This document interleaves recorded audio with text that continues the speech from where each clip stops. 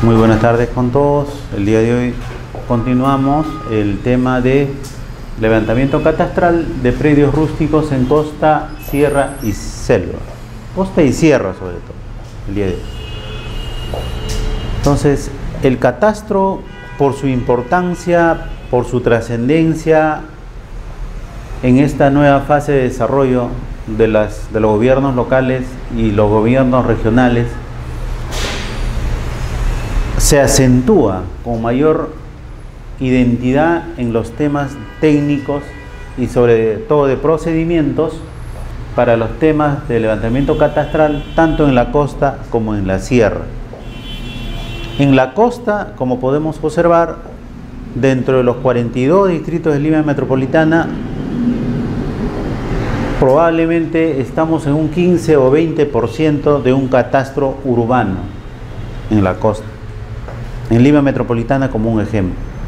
Y a nivel de las diferentes regiones del país, el catastro a nivel de gobiernos regionales probablemente se esté iniciando o se esté haciendo un avance en un 10, 15, 20%. No llega todavía a un porcentaje promedio de un 50%. Y en la sierra, de igual manera, el catastro todavía su incidencia y su, su trascendencia no deja de ser un tema técnico por implementarse y un tema técnico sobre todo de aplicación de desarrollo y planeamiento urbano y sobre todo que ingrese en los planes de gobierno de cada gobierno regional o local. Entonces, es de trascendental importancia el levantamiento catastral en los predios rústicos de la costa y también de la sierra.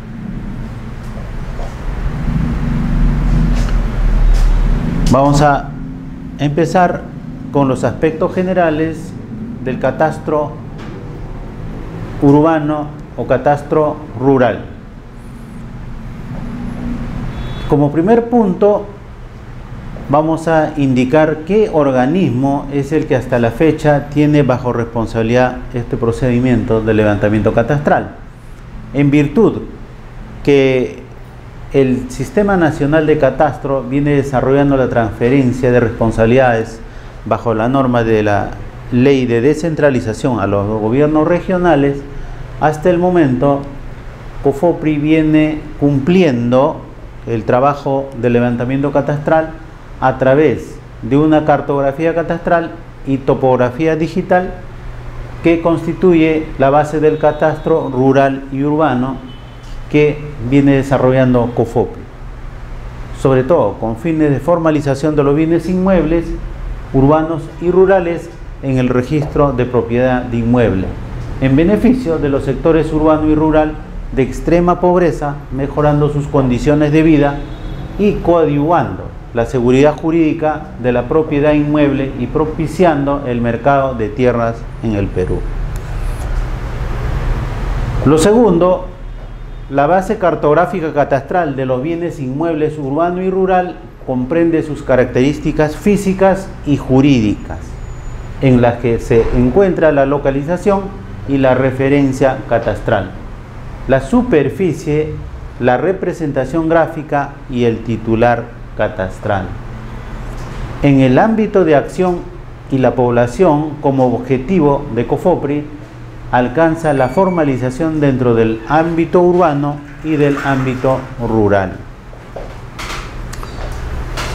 En el ámbito urbano, el proceso de formalización constituye consolidar la propiedad con la inscripción registral en, en el organismo de la SUNAR respecto a los terrenos ocupados por posiciones informales y en el ámbito rural alcanza el saneamiento físico-legal de los predios individuales de todas las zonas rurales del Perú, territorio de comunidades y comunidades nativas y de las tierras eriazas en general. Asimismo, la consolidación, la conservación y mantenimiento del catastro en el país. Como antecedentes, desde el año 1996 el programa de titulación y registro de tierras financiado por el Banco Interamericano de Desarrollo, se desarrolló el tema del catastro rural ejecutándose los nuevos lineamientos o levantamientos para la formalización de la propiedad de los predios rurales de acuerdo a la aplicación del decreto legislativo 667. Y estos fueron de carácter masivo denominados al barrer, como un barrido, un barrido del proceso de formalización y hoy también aplicando el tema del barrido masivo para el tema de levantamiento catastral. Y que a nivel del territorio nacional ha generado hasta el año 2008 un total de 2.766.850 predios rurales que cuentan con un levantamiento catastral individual el cual cubre el ámbito de 1.197 distritos y que ha permitido formalizar un total de 1.762.835 predios rurales individuales. En el segundo caso, los levantamientos catastrales de tierras seriasas se vienen ejecutando a petición de parte en base a la legislación específica que establece según el TUPA de COFOPRI y también el catastro rural incluye los planos a escala 1 a 25.000 o perdón, 1, sí, 1 a 25.000 del territorio de las comunidades campesinas y nativas a nivel nacional. Como tercer caso, el COFOPRI desde su creación en el año 2006 igualmente se abocó a la ejecución del catastro de los lotes urbanos de los asentamientos humanos informales con fines de formalización, llegando a ejecutar el levantamiento de un total de 2.652.735 lotes a diciembre del 2008, de las que se han titulado 1.782.774 lotes urbanos para lo cual se contó con el financiamiento del Banco Mundial. Siempre desde un inicio, desde el inicio de COFOPRI, el Banco Mundial fue un factor decisivo en el proceso y en el avance que desarrolló COFOPRI desde el proceso de formalización, hoy nuevamente en el proceso de levantamiento catastral. Y no deja de ser un proyecto de carácter innovador, sobre todo para el Estado peruano, cuando una entidad del Estado logró desarrollar y cumplir sus metas y objetivos en todo ese proceso desde su creación de 1996 hasta la fecha. Y es un gran, gran avance para el Estado peruano y sobre todo inmerso en el tema de modernización y gestión pública del Estado. Actualmente COFOPRI cuenta con un financiamiento del Banco Mundial para el proyecto, para el tema de catastro como derechos de propiedad urbana, el cual está permitiendo levantar un catastro integral en diferentes centros poblados del país con el objetivo de formalizar cerca de 400.000 previos a más urbanos en un periodo de 5 años. El Sistema Nacional Integrado de Catastro es el órgano a nivel del Estado que viene desarrollando normativas y lineamientos referentes al tema del levantamiento catastral, tanto desde su generación de catastro y también su actualización y mantenimiento. Es el órgano rector respecto al tema catastral, tanto en el ámbito urbano, en el ámbito rural y también en el ámbito de la costa, sierra y selva, a nivel de todo el territorio nacional. Entonces, el Sistema Nacional de Catastro Integrado se crea mediante la Ley 28294 con el fin de regular la integración y unificación de los estándares, nomenclatura y procesos técnicos que realizan las entidades generadoras de catastro en el Perú.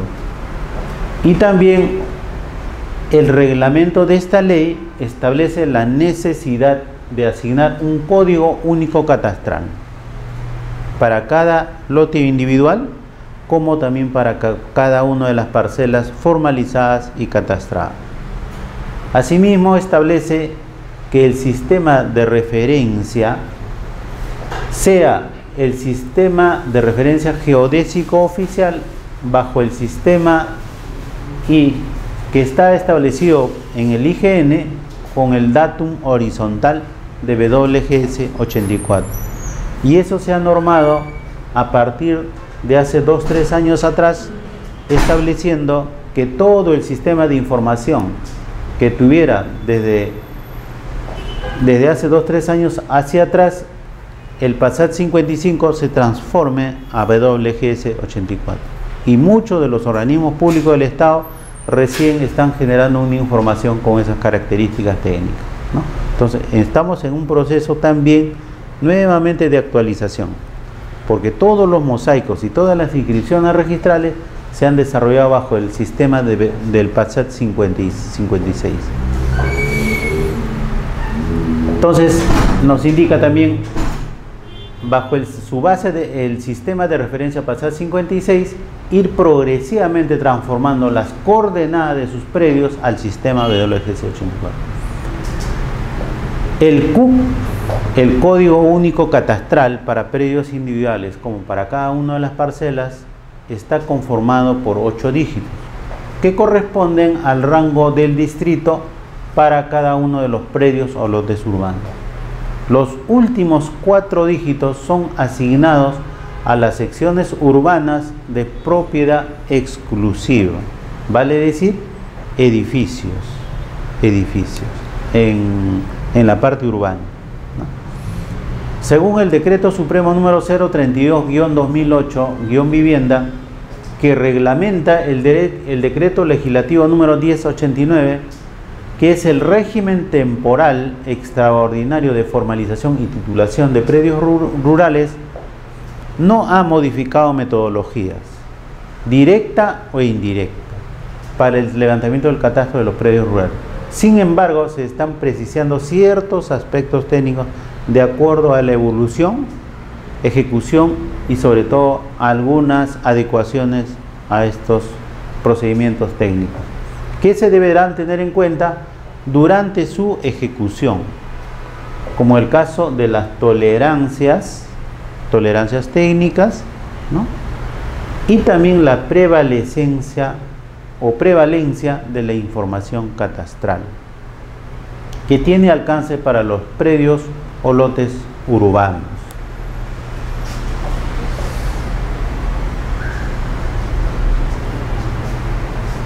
El código de referencia catastral. Para proyectos en ejecución es un número de 14 dígitos de los cuales el primero representa el segundo, representa al segundo dígito de la zona del esferoide 7, 8 o 9. Los siete siguientes a las coordenadas norte y este. Y del vértice inferior izquierdo de la unidad orgánica catastral en un formato de escala 1 sobre 10.000 y los seis últimos corresponden a la unidad catastral. Entonces acá tenemos un ejemplo. El 8 pertenece a la zona del esferoide y los siguientes a las coordenadas. Y luego corresponde a la unidad orgánica catastral bajo un formato en una escala 1 en 10.000. ¿no? Utilizando el sistema de proyección UTM sistema de provisión UTM.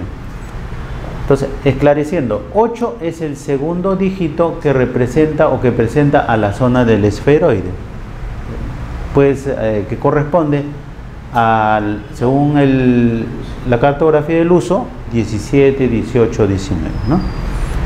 340 es la coordenada este en kilómetros del vértice inferior izquierdo de la unidad orgánica catastral. Este, el este viene a ser 340 mil metros.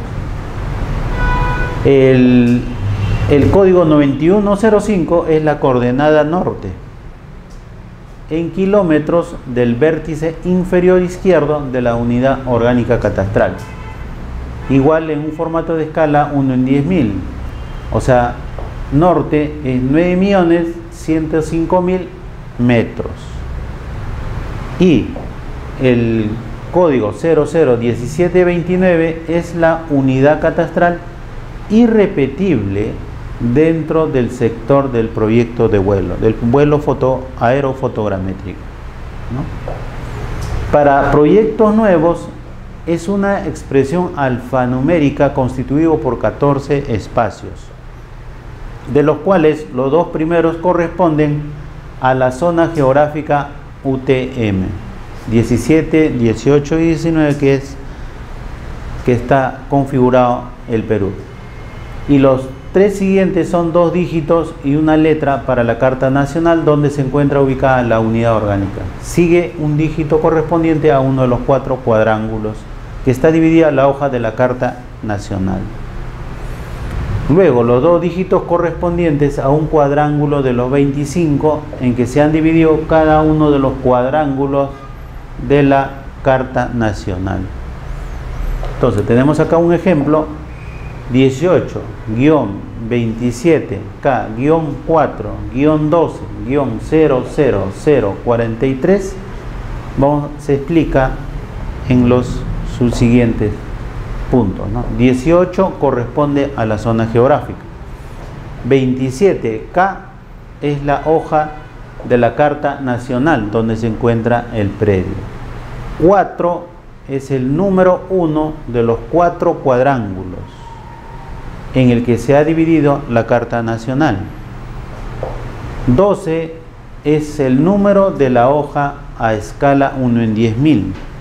Desde las de las 25 en que se encuentran dividido cada uno de los cuatro cuadrángulos de la Carta Nacional. El 00043, número que corresponde a la unidad catastral.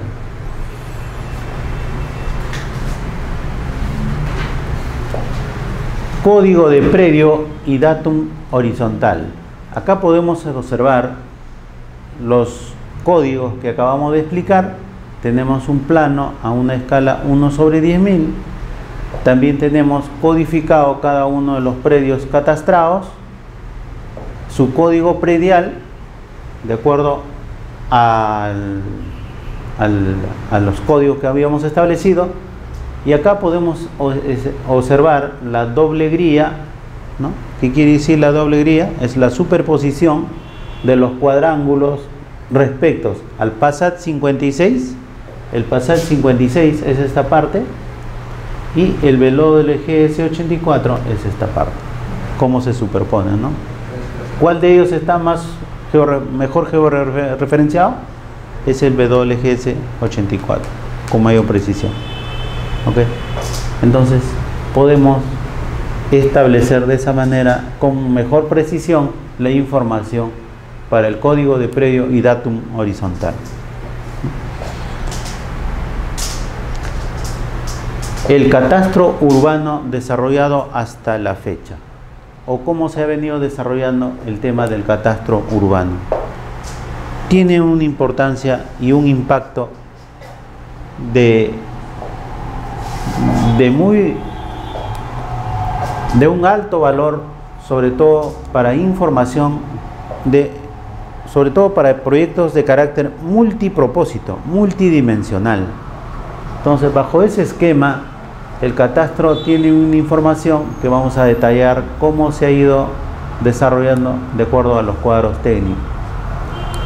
El cuadro técnico que siempre lleva un plano de catastro urbano, uno siempre va a tener la capa norte, que es la orientación georreferenciada del plano. También va a tener la capa de los cuadros técnicos, de los lotes y manzanas. Aquí están los, los cuadros técnicos de manzanas, lotes y sus áreas. Luego vamos a tener una capa plano ubicación, en la escala 1 en 10.000. Luego vamos a tener una capa de cuadros técnicos, también o cuadro de áreas, que vamos a establecer en la parte derecha siempre del plano catastral. Y otro cuadro también que vamos a establecer, que es el CGA, y otro cuadro en la capa membrete también establecido para todos los trabajos de catastro, con la denominación institucional de la entidad generadora de catastro. También vamos a tener la capa con secciones de vías, con las diferentes secciones que cada vía pueda contener del área en el que se esté desarrollando el catastro urbano. Luego también vamos a tener la capa de coordenadas, coordenadas norte y coordenadas este. Y luego la capa de colindantes. En este caso es el perímetro del lugar o del área a desarrollarse el proceso de catastro. O sea, tiene un perímetro indicado y un área total del, del digamos, del área de, de trabajo para el tema catastral.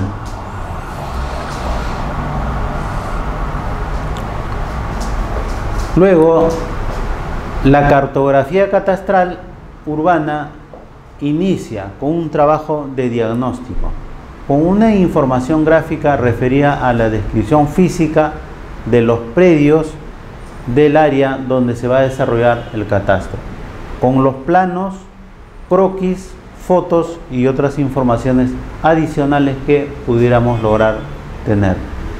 Luego vamos a tener la información alfanumérica de datos referidos a los predios y proyectos con información de partidas registrales escrituras públicas y otras informaciones de carácter de propiedad referente a los datos del predio referido. Luego también vamos a tener información de las instituciones que realizan actividades catastrales y o registrales. En este caso, en el, Ministerio de Energía y Minas se desarrolla también lo que se llama catastro minero también se desarrolla lo que es catastro minero. ¿Qué quiere decir? Son todas las áreas que están ubicados para desarrollar un proyecto de exploración o probable exploración minera y desarrollan toda una configuración de polígonos para el tema de catastro minero o un mapeo, en otras palabras de mapeo, de probables zonas de, con áreas de mineralización y puede desarrollarse allí eh, fines o proyectos exploratorios para ubicación de, eh, con fines de explotación. Entonces, por ejemplo, para el catastro minero es el INGEMET, es el que, es el que está desarrollando en estos momentos un, un catastro con una información cruzando información tanto de la SUNAR, tanto con COFOPRI y también con una información propia que ellos cuentan de las diferentes compañías mineras o también de la información que ellos puedan generar a, través de consultorías. Luego, en el tema catastral, podemos decir ahora también desarrolló el EXPET, porque ahora sí ya es EXPET, ¿no? Proyecto Especial de Titulación de Tierra. El Instituto Nacional de Estadística también en algún momento tuvo información con respecto a temas de catastro. Las municipalidades también desarrollaron temas de catastro y tienen información o un historial referente a temas catastrales. El Instituto Nacional de Cultura, de igual manera, tiene información respecto a sus, digamos, a las a, las propiedades que ellos administran, sobre todo en el marco de, de las normas internas que ellos configuran y catalogados de acuerdo al tipo, al tipo y, el modelo histórico que tengan de la información a nivel del INC. Luego también INDECI, que es el sistema de defensa civil, hoy, hoy convertido ya en SINAGER, Sistema Nacional de Gestión de Riesgo. Y también el registro público, que antes era registro público a nivel del Ministerio de Justicia. Levantamiento catastral urbano. Para el levantamiento catastral urbano, sobre todo en la zona de costa, se desarrolla una información a nivel de un polígono que se llama perimétrico, el plano perimétrico, con sus cuadros de datos de coordenadas y su cuadro técnico, el área, el, área total, las distancias y todos los datos técnicos a través del polígono, su georreferenciación orientada al norte, su plano de ubicación y su membretado por la entidad generadora de catastro. Entonces, a futuro tendremos que ya no va a ser COFOPRI, sea los gobiernos regionales. Entonces, como hemos visto hace un momento en una diapositiva anterior, las metodologías tiene que ser, la secuencia metodológica técnica es, es lo mismo, salvo en casos especiales los gobiernos regionales irán mejorando esa información. Entonces, en estos casos los gobiernos regionales indicarán con los organismos indicados o organismos internos que generen esta base de información perimétrica para cada región. Una vez que tengamos el plano perimétrico de la zona urbana a trabajar en el proyecto de catastro, vamos a tener un plano en detalle a nivel interno de ese polígono con la denominación ya sea asentamiento humano, asociación de vivienda o, digamos, o una propiedad privada, cualquiera sea la condición, un plano de trazado y lotización. O sea, un detalle, un, un informe detallado respecto a la unidad de cada lote y todas las áreas de equipamiento urbano, secciones de vía y también los códigos de vía, ¿no? Los códigos de vía. Y también vamos a tener secciones de vía, todos los cuadros técnicos por manzana, también cuadros técnicos de equipamiento urbano, áreas verdes, hospitales, colegios, alamedas, vías, eh, áreas, áreas remanentes, áreas remanentes, entonces toda esa información va a estar ubicada en la parte derecha del plano urbano. Y luego también su membretado correspondiente. Entonces esa es la manera como se está desarrollando la información respecto a un levantamiento de plano catastral urbano. Pero para desarrollar toda esta información, en primer lugar tenemos que tener la información del saneamiento físico legal de esta área, ¿no es cierto? Como una primera información base. Se quiere decir que para desarrollar el catastro de una área urbana ya formalizada, en primer lugar vamos a tener la información con los títulos de propiedad que tenga todas estas unidades de vivienda en esta zona a levantar el catastro. Y luego, una vez que tengas, se tenga la titulación y las áreas definidas de acuerdo a a la inscripción registral, se inicia ya un levantamiento topográfico a detalle de todas estas manzanas con la información física, cómo están asentados o consolidados esa zona o ese sector.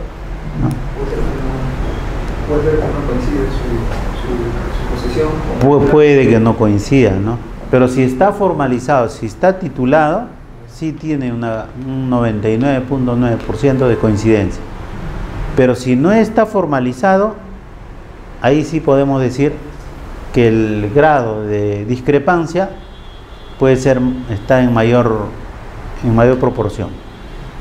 Pero si el perímetro del, del área a catastrar está inscrita y está formalizado, ¿no? va a tener un 99% de información certera, a excepción, como siempre, el tema catastral es tan dinámico puede haber sido titulado esta zona en el año 2005. Del 2005 hasta la fecha ya varió en temas de construcción, consolidación, y lo que podíamos encontrar es ciertas diferencias en cada uno de los lotes. Como conversaba hace un momento, había o existe una área definida respecto a los lotes, pero muchas de las veces la mayoría de los lotes no respetan el área de retiro municipal o las áreas públicas y a veces invaden veredas o se exceden en áreas de equipamiento. Entonces podemos encontrar discrepancia en esas, en esas áreas. Pero para eso se desarrolla un levantamiento topográfico en detalle de cada uno de los frentes del lote y a nivel de manzana. Y ahí podemos establecer cuáles son las diferencias y podemos encontrar las observaciones necesarias para corregir en el tema catastral.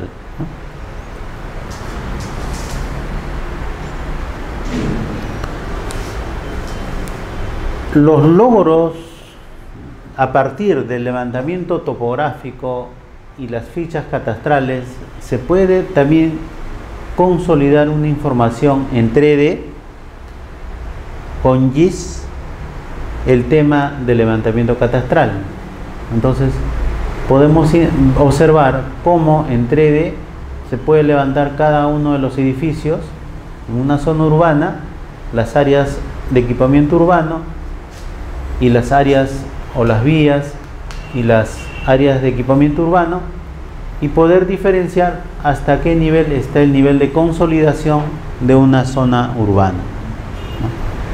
Entonces, en sistema GIS 3D podemos encontrar y observar cuál es el nivel de crecimiento de una ciudad o el tema de modificación y la proyección de un área o de una manzana o de una zona con la información de un catastro actualizado y una proyección y un cálculo establecido para muchos fines, para fines multipropósitos. Y en primer lugar siempre las municipalidades toman como prioridad el tema de rentas. Para el tema de rentas, precisamente esta información va a ser clave porque les va a dar la cuantificación económica y la calidad de información para su base de datos. Entonces, los logros del catastro en una zona urbana, vamos a observar en cada una de las regiones y las oficinas zonales instaladas, por ejemplo en Amazonas, el total de, de lotes catastrados es 24.499 y así podemos ir enumerando en la diapositiva cómo cada región ha podido ya obtener un número adecuado de zonas catastradas y también un total de lotes titulados. Por ejemplo, para Amazonas 15.951. Entonces, zona lotes catastrados 24.000, o sea, tiene 10.000 más, ¿no? 10.000 unidades de vivienda adicionales para el tema de catastro. Y también podemos concluir en un total para cada uno de los procesos, tanto para el tema de catastro y para el tema de proceso de formalización. Ambas van de la mano, informaciones técnicas que van relacionándose entre sí. Para un levantamiento catastral en zona urbana, siempre la imagen satelital va a ser importantísimo, porque es la primera vista que vamos a tomar sobre una ciudad o sobre un área que vamos a desarrollar el proceso de catástrofe. Entonces, aquí podemos observar una imagen de una ciudad y también a un porcentaje para poder desarrollar y observar cómo es la distribución física aproximada y que nos pueda brindar una información sobre todo para el tema de planeamiento. Es una imagen Así es, ¿no? Imágenes de vuelo. Pero esta imagen, como podemos observar, es una imagen tomada o del Google EAR, ¿no? El Google Earth tiene una diferencia respecto al tema cuando ya se hace un desarrollo con puntos de control, ¿no? Y bajo, bajo datos de sistemas GPS diferenciales, se hacen ciertos ajustes, entonces la georreferenciación en detalle de cada uno de los lotes y de la manzana siempre va a tener una diferencia. Mejor precisión vamos a tener cuando tengamos georreferenciado con puntos de control de polígonos de control en WGC84. En este caso estamos viendo una imagen satelital normal como podemos observar. Imagen georreferenciada. Entonces aquí Eh, podemos observar cómo las manzanas se observan con más detalle cuando ya se encuentra georreferenciado. Vamos a retroceder. Acá no se puede notar mucho, ¿no? Es una imagen preliminar con algunas discrepancias o algunas observaciones que no se nota bien, pero en la imagen georreferenciada sí podemos definir mucho mejor las calles, las vías, la orientación y la posición de la manzana, los lotes y las vías respecto a la anterior imagen. Entonces, de una imagen preliminar tenemos que pasar a una imagen georreferenciada.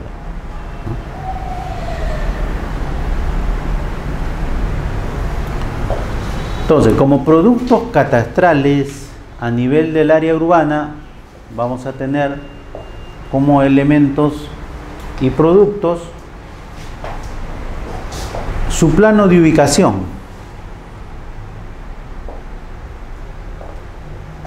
Luego vamos a tener en detalle planos de independización. Luego vamos a tener planos de parcelas. Luego vamos a tener planos de consulta. Luego vamos a obtener un plano perimétrico. Luego vamos a tener una modificación de plano de traslado, de trazado y lotización.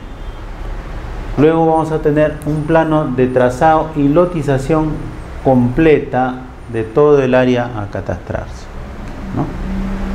Entonces, son los productos del área de edición que se va a poder tener para lograr un proceso de desarrollo catastral en las áreas donde se requiera hacer ese proceso de catastro. Asimismo, vamos a contar con una base de datos. Una base de datos. Una base de datos con información de qué? Con información de los propietarios de los propietarios de cada unidad de vivienda quienes tributan a las municipalidades. Entonces la municipalidad tiene una base de datos de una base de datos denominado de contribuyentes. Entonces esa base de datos nos va a servir también como un, elemento para poder desarrollar el levantamiento de información catastral en cada una de las zonas.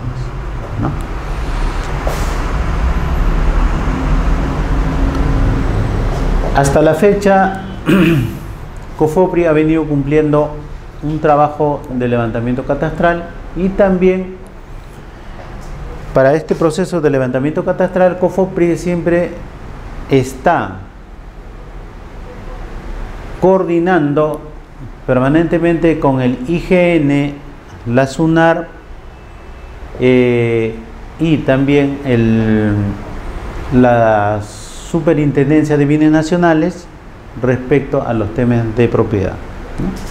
Entonces, con el IGN y la SUNAR ha podido desarrollar y establecer estaciones geodésicas permanentes a nivel del territorio nacional. Y un programa que está, se está aplicando también es la densificación de la red geodésica con más de 4.900 puntos de orden A a nivel del territorio nacional. Y también la adecuación de la cartografía existente al nuevo sistema de coordenadas de WGS 84. Y también en el proceso de catastro y titulación, en el proceso de formalización para predios urbanos informales aproximadamente tiene más de 205 mil predios y en el levantamiento de catastral más de 535 mil predios urbanos. Y luego el, proceso, el proceso de transferencia de capacidades a los gobiernos locales para el proceso de catastro urbano rural. Y es un campo muy innovador, muy importante, en el cual la participación de todo un conjunto de técnicos va a ser fundamental y que a futuro se abre un nuevo campo de acción.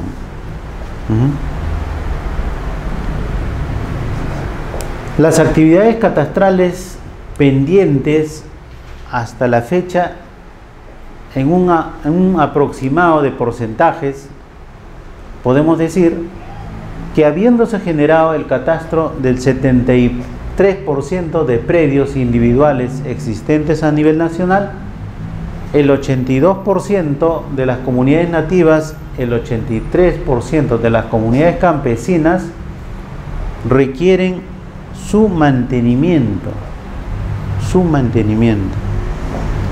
Y, el tema del catastro si no tiene un proceso de actualización y mantenimiento, es como si hubiéramos dado un paso y luego vamos a retroceder dos. Entonces, es clave la participación en ese proceso de mantenimiento para todos los gobiernos locales y regionales. También se requiere, a pesar que se ha hecho un avance en la instalación y densificación de los puntos de control de orden A, se requiere la georreferenciación del 95% del territorio de las comunidades nativas tituladas y la digitalización y o georreferenciación del 50% de las comunidades campesinas tituladas. Otro aspecto, podemos decir, cuenta con una cartografía a escala 1 a 25.000 en toda la región costa y sierra del país los cuales el 55% de hojas están digitalizadas, faltando todo un conjunto de 45% por digitalizar. Y eso es una cantidad impresionante. Se estima que hace falta levantar el catastro de 1.660.500 predios o lotes urbanos y 1.036.500 predios rurales a nivel nacional. También, habiéndose expedido las directivas por el Sistema Nacional Integrado de Catastro, así como delegado por COFOPRI la administración de la base de datos catastral del sistema se encuentra en la fase de implementación. Entonces, en esa fase de implementación tiene que haber la asignación del código único catastral en todos los predios inscritos, tanto rurales como urbanos, para su vinculación con el registro de predios. Tenemos una cantidad de 4.500.000 a la fecha pendientes de asignar los códigos únicos catastrales. También se tiene que desarrollar la estandarización de las hojas catastrales a las series de escalas. O sea, tiene que haber una uniformidad respecto a esa información, tanto de la parte costa como de la parte de sierra, respecto a la serie de escalas cartográficas. También aprobada según la Directiva 002-2006, Sistema Nacional de Catastro. También la implementación de las nuevas fichas catastrales, tanto urbanas y rurales. La mayor de las veces nosotros, por ejemplo, conocemos una ficha catastral de carácter urbano, que son como de siete hojas, ¿no? Hay uno de bien común, hay otro de zona arqueológica, hay otro de predios individuales, hay otro de condominios, ¿no? Entonces, otros de áreas, este, áreas comunes. Entonces, pero a medida que se va avanzando, también se requiere actualizar, renovar con nuevas informaciones esas fichas catastrales para zonas urbanas y para las zonas rurales. También la metodología. La metodología. No solo la metodología tiene que desarrollarse en función a lo que se ha venido haciendo. Como hemos visto, la metodología ya cambió. El tema de catastro a nivel urbano aquí en Lima siempre se desarrolló a nivel de una de una de un manejo cartográfico, ¿no? De imágenes. Pero ahora ya de acuerdo a la norma estamos viendo que el, que el catastro se está desarrollando en base a una nueva información que tiene que ser normado en el sistema WGS 84, georreferenciado. ¿Qué quiere decir? Que todos los catastros que se hizo en base a la cartografía o al PATSAT 56 tiene que ser actualizado al WGS 84. Entonces, necesariamente esa metodología está cambiando y está desarrollándose ya mediante el sistema de coordenadas para los predios del PASAT 56 al WGS 84. Y algunos ni siquiera han usado el PASAT 56. La Municipalidad de Lima siempre hizo su catastro. ¿Pero cómo lo hizo? Simplemente con imágenes y un levantamiento individual de cada uno de los predios. ¿no? Entonces, pero ahora, normándose en el Sistema Nacional de Catastro, ya genera otra metodología adicional que es el levantamiento topográfico del, de la manzana y también, como acabamos de observar, de desarrollar un polígono de cada zona. Entonces, es una metodología que se va implementando y obviamente se tendrá que ir mejorando en, el, en, la, en la acción, la ejecución y desarrollo del mismo proceso.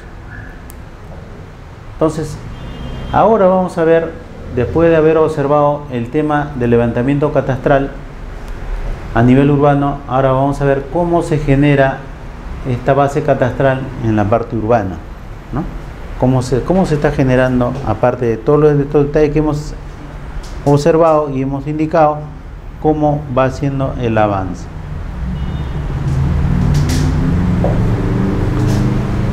Siempre, tanto para las, para el proceso de formalización y para el proceso de catastro, siempre vamos a llevar estos procesos denominados proceso 0, proceso 1, proceso 2.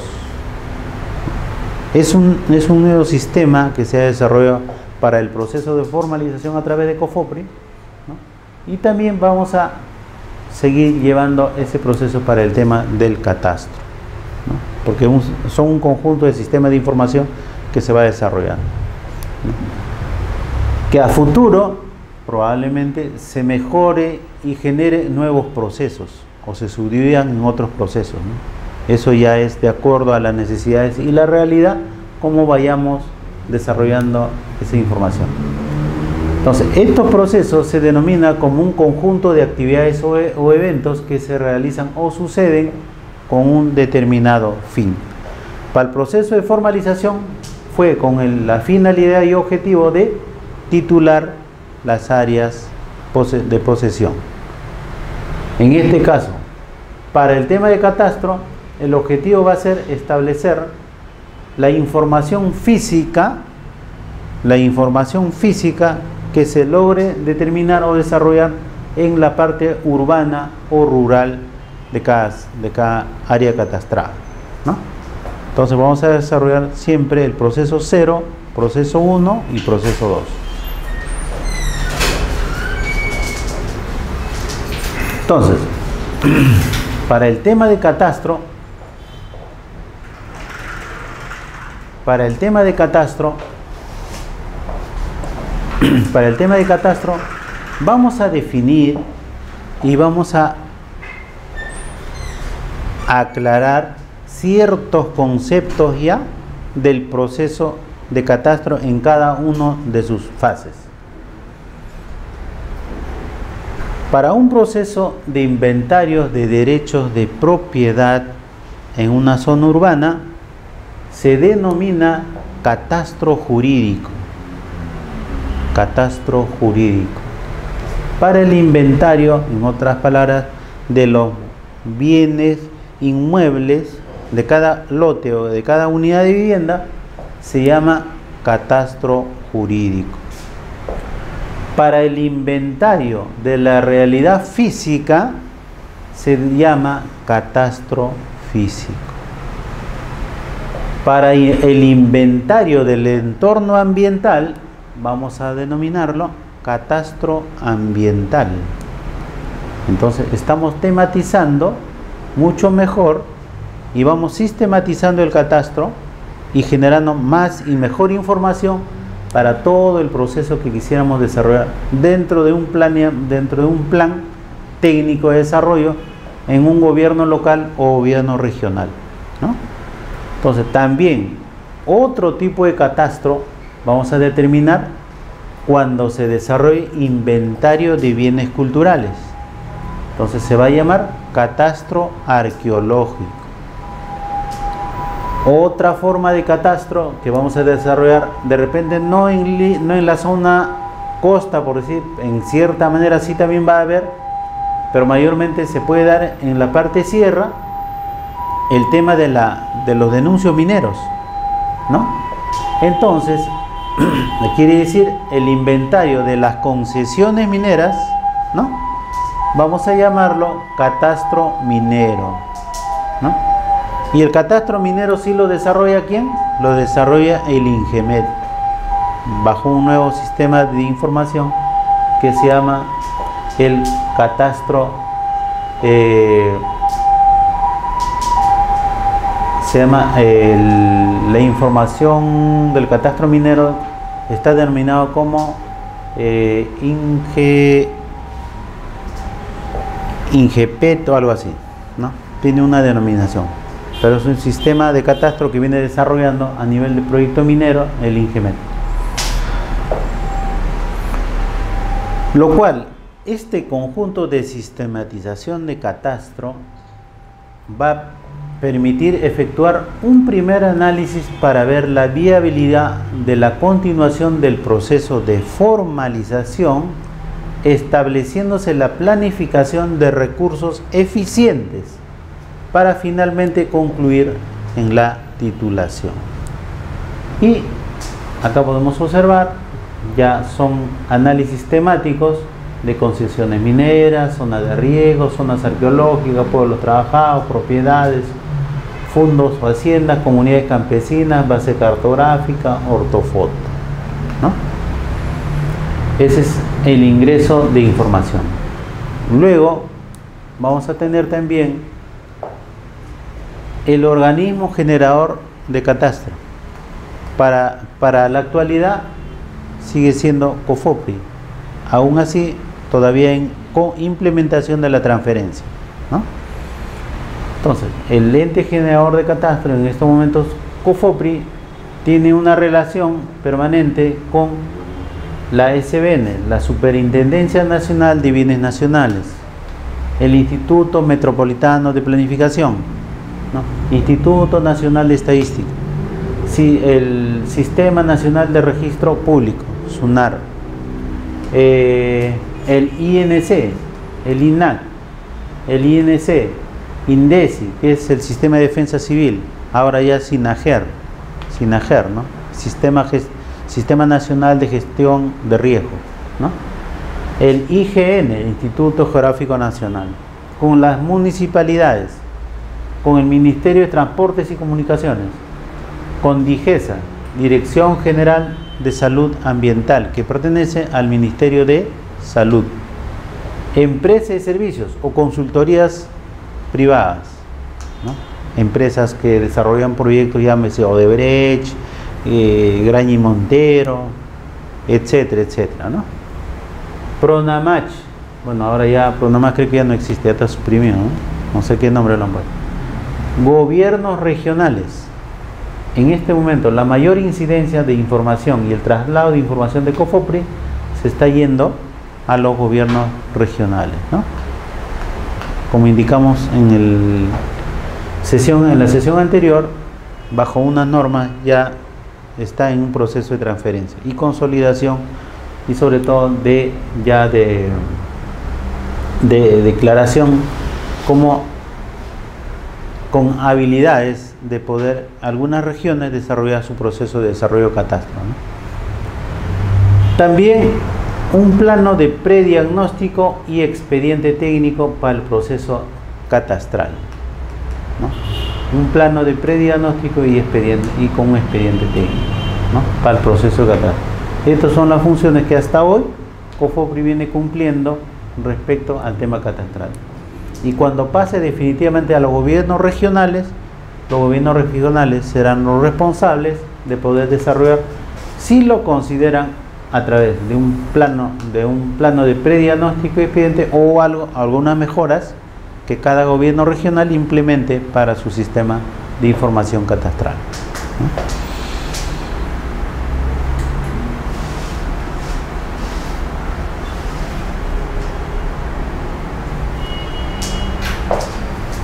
Proceso 1. Comprende las actividades de levantamiento topográfico, edición cartográfica y otras acciones de carácter técnico-legal, el cual se logra inscribir en la base de datos gráfica del plano perimétrico y plano trazado de lotización de todos los predios a formalizar. Entonces, los productos, desde un levantamiento topográfico, una información de una cartografía, podemos tener a la elaboración de un plano perimétrico con su cuadro de datos y coordenadas y sus vértices, un plano de trazado y lotización con su cuadro de técnico de manzanas y lotes de vivienda y sus áreas respectivas, ¿no? Y adicionalmente a eso la base de datos de los propietarios de cada uno de los lotes de vivienda ¿no? entonces tenemos una información amplísima como producto para el tema del proceso 1 en el tema de catastral y sobre todo el proceso 1 en el paso de la formalización en el paso en el proceso del saneamiento físico legal es una información base de vital importancia para el tema catastral. Porque una vez que tengamos esta zona formalizada, la información es mucho más fidedigna, es mucho más real. Tenemos los propietarios reales, las áreas de los lotes, las secciones de vía, las áreas de equipamiento, ¿no? Tenemos mucho más definido. Si no tuviéramos una información todavía formalizada de esa zona, las discrepancias de información va a ser mucho más mucho más trabajables y poder lograr encontrar informaciones mucho más fehacientes. En cambio, cuando está formalizado, la base de datos va a ser mucho más fehaciente. ¿Ok? Cada uno de los lotes va a tener uno, dos, tres propietarios que se llevan. Por lo menos y esa información es cruzado permanentemente con el tema de las municipalidades. Actualmente las municipalidades, si hay una zona formalizada, ya tiene información del área formalizada. ¿no?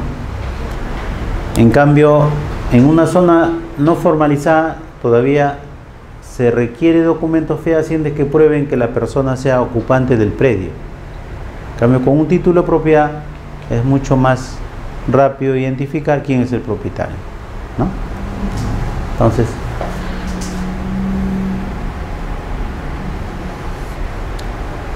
bueno, el proceso de levantamiento topográfico para el plano perimétrico es muy importante. ¿no? Es muy importante. Sobre todo porque es importante el levantamiento topográfico a través de puntos de control de un plano perimétrico. En primer lugar, como hemos podido observar, si ya estamos trabajando en un sistema WGS84, La georreferenciación del polígono, el cual vamos a determinar, es mucho más preciso. Y estamos adecuados a la norma indicada, que nos indica que las normas técnicas deben, o todo polígono debe estar orientado a un sistema WGS84. Entonces, así sea en Distrito de Surco, Chorrillos, Miraflores, se deben adecuar ya a este sistema. Su catastro de, de Miraflores es en base a base cartográfica. No está todavía georreferenciado plenamente. O sea, tienen una base preliminar. ¿Y lo de la SUNAR también está en La SUNAR de igual manera está haciendo migración de las inscripciones que hicieron con el PASAT 56 están migrando y están actualizando al WGS84. El WGS84 se está implementando hace 2, 3, 4, 5 años, recién. Entonces, toda la información generada hacia atrás, obviamente tiene que actualizarse.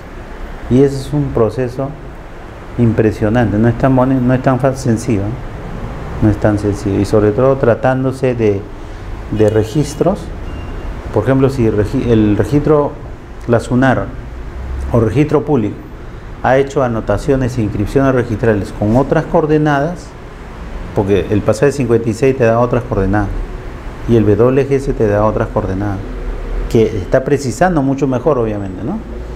Entonces, cambiar esa información y actualizar es un proceso bien delicado, ¿no? Bien delicado. Pero se ha normado y creo que la, norma nos habla claro se tiene que actualizar, porque tenemos que actualizarnos y migrar al WGS 84, tanto las entidades públicas y privadas.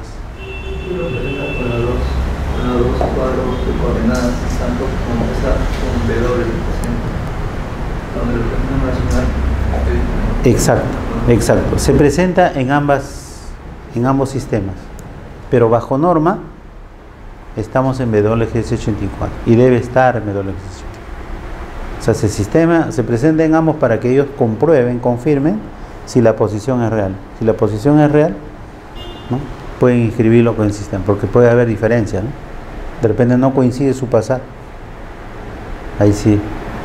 O sea, es, una cirugía técnica que Sunar mismo está en un proceso de innovación, desarrollo dinámico. Mm, latente del tema en este proceso de desarrollar y trasladar y migrar al sistema de ideología ¿no? Entonces, el desarrollo del proceso de levantamiento topográfico bajo los dos sistemas PASA 56 y WG64 todavía es un proceso muy, muy, muy eh, cuidadoso de poder ir desarrollando en el transcurso de este, todo este proceso. El plano de trazado y lotización, como hemos podido observar, las medidas de los lotes, cuando la lotización está definida y si no lo está y hay que diseñarle las curvas de nivel del terreno para poder desarrollar la ubicación de postes de luz, buzones, las trochas que no se encuentran definidas para la o por la lotización. También se detalla los tanques de agua, la nomenclatura de los lotes, el nombre de calles, numeración municipal, torres de alta tensión, cursos de canales de regadío, distancia al cauce de los ríos para el sistema de gestión de riesgo, caso Chosica, por ejemplo. No solo caso Chosica, toda la periferia de Lima, todos los asentamientos humanos a nivel de la periferia de Lima están en este gran problema. Si nosotros observamos en cualquier lugar, por el lugar donde ustedes pasan a dar una mirada a las pendientes, cómo están ubicados los lotes, nos vamos a dar cuenta rápidamente cómo los lotes están próximos a un cauce río, porque todos, todos son quebradas. Por ejemplo, el día hace cuatro o cinco días hubo una lluvia intensa en Vía María y Vía El Salvador. Todos los todos los, eh, todos los puentes que se construyeron para desarrollar bypass en ciertas avenidas, ¿qué pasó? como no se diseñó con el sistema de poder hacer el, el, digamos, el desfogue, inundación del agua, ¿qué pasó? Se inundó y se hizo una piscina, todos los bypass que se ha construido. ¿Y qué pasó? Congestión vehicular, eh, no hubo pases para una fluidez del tránsito, se paralizó, algunos buses se quedaron en medio de esa piscina. Entonces, si estamos comprobando que nuestro sistema de transporte a nivel de Lima no está llevando a cabo una información adecuada con todos estos elementos que pudiéramos darle como información, imaginémonos que pasara una lluvia intensa. Colapsaríamos, colapsaríamos. O sea, eso todavía no se ha visto a ciencia cierta pero los indicios ya nos brindan una información de alarma y de alerta.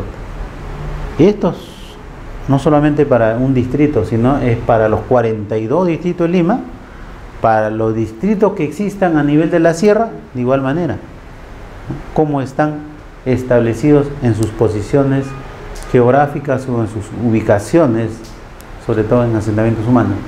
Otro de los grandes representante siempre de la zona de río que ha salido siempre en las noticias es Chosica. Chosica. Entonces, queda claro la identificación de las áreas a lotes principales y la georreferenciación del pueblo.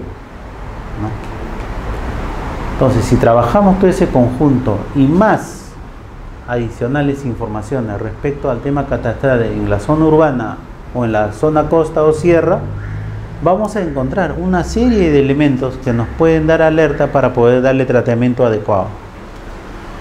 Ahora, el, el Sistema Nacional de Gestión de Riesgo, el SINAGER, recién fue implementado y se está implementando recién este año. La norma salió hace dos años está en un proceso de implementación. Entonces, para que dé alarma respecto a este problema de cauce de ríos y otros problemas adicionales, y a todos los temas de infraestructura, pues todavía tenemos un campo tan amplísimo de poder hacer, desarrollar análisis de estudios e implementar todo el tema de prevención. Es un campo tan riquísimo en la parte técnica de poder evaluar y analizar. Tenemos un campo amplio. Proceso 2. Proceso 2. El proceso 2 viene a ser el inventario de las posesiones mediante un proceso de empadronamiento o llenado de ficha y calificación que se efectúa para efectos de titulación e inscripción de derechos de propiedad de cada beneficiario. Como decíamos, la primera fase del proceso de catastro va a ser el tema de formalización de la propiedad. Una vez que tengamos el proceso de formalización de la propiedad, vamos a tener el segundo paso que es el inventario de la edificación física de ese lote. De ese lote. Entonces, también va a estar constituido ese proceso de levantamiento de información física del inmueble en un proceso 2 que denominamos el proceso de catástrofe.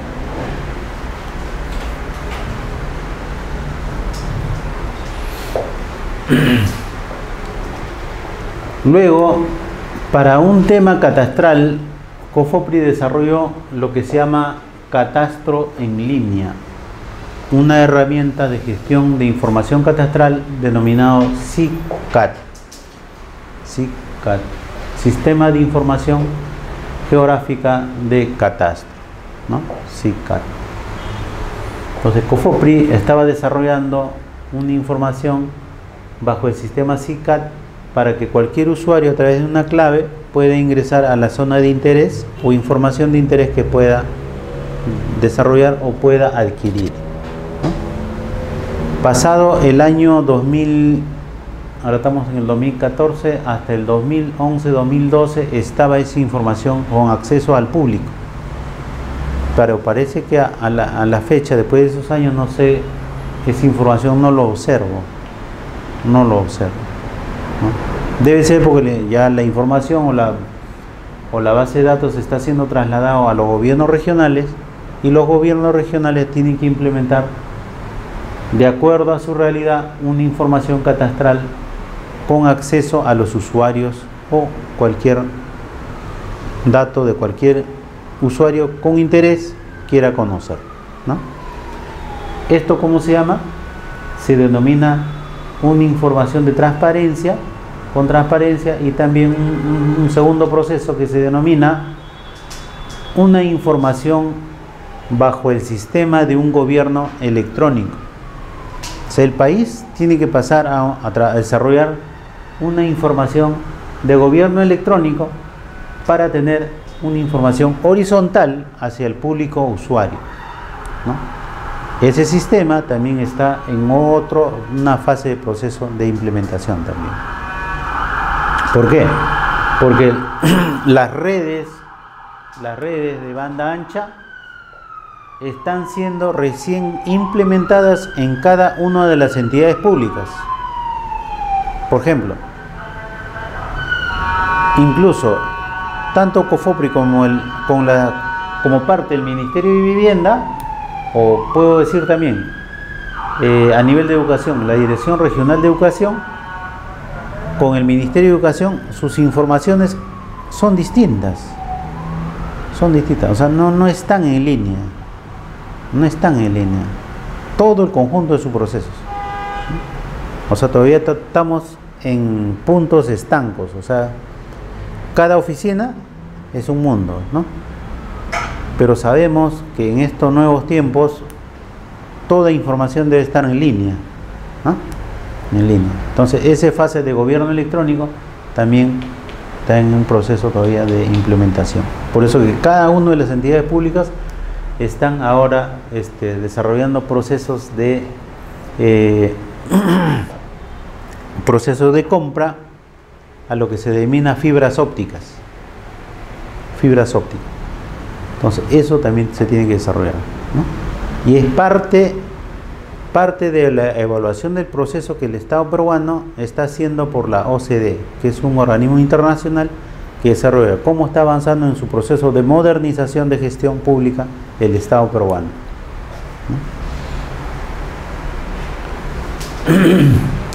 Antecedentes.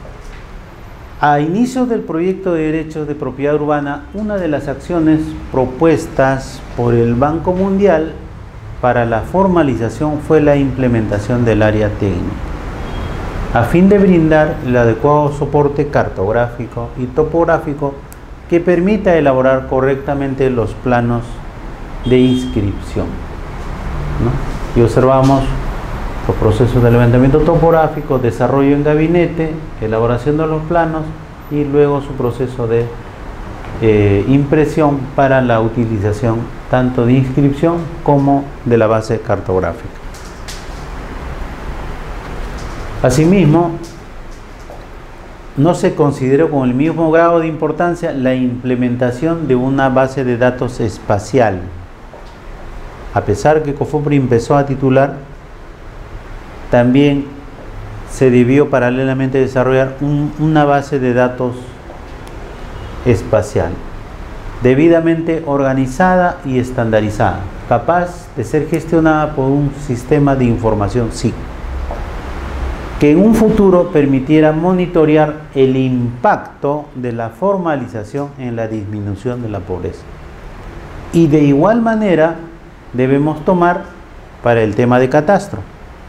En el tema de catastro debemos tener esa información de la base de datos y como siempre planteo también, debemos tener la información histórica del proceso de levantamiento catastral de cada ciudad, porque así vamos a tener secuencialmente cómo fue avanzando una ciudad y cómo fue modernizándose.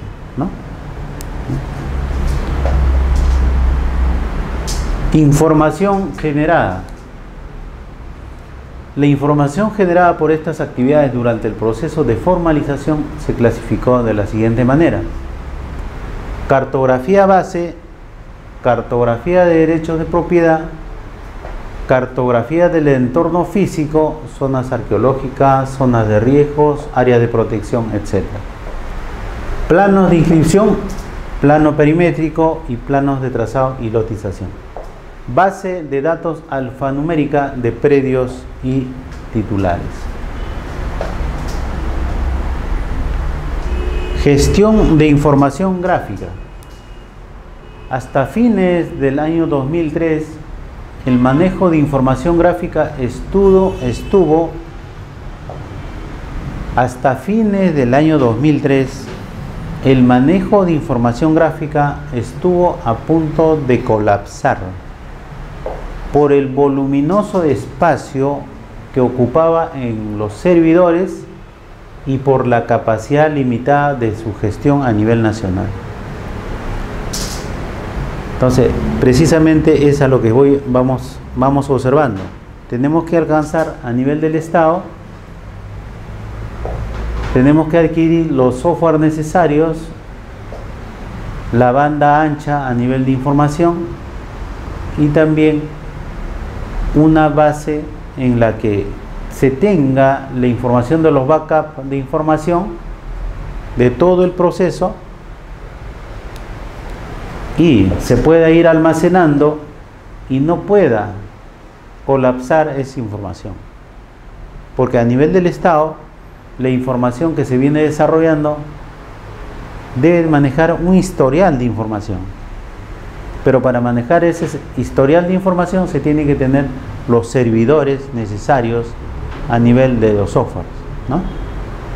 Entonces, eso es lo que en el año 2003 la información gráfica estuvo a punto de colapsar. Entonces, hasta la fecha, ¿cuántos años eso está? Estamos a 10 años. ¿Se podrá haber superado?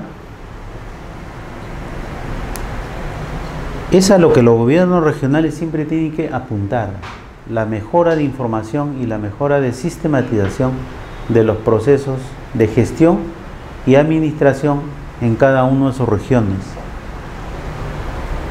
Los gobiernos regionales, en vez de pensar en los contratos temporales de las obras, tienen que pensar en estos procesos que son mucho más de futuro y desarrollo para cada ciudad.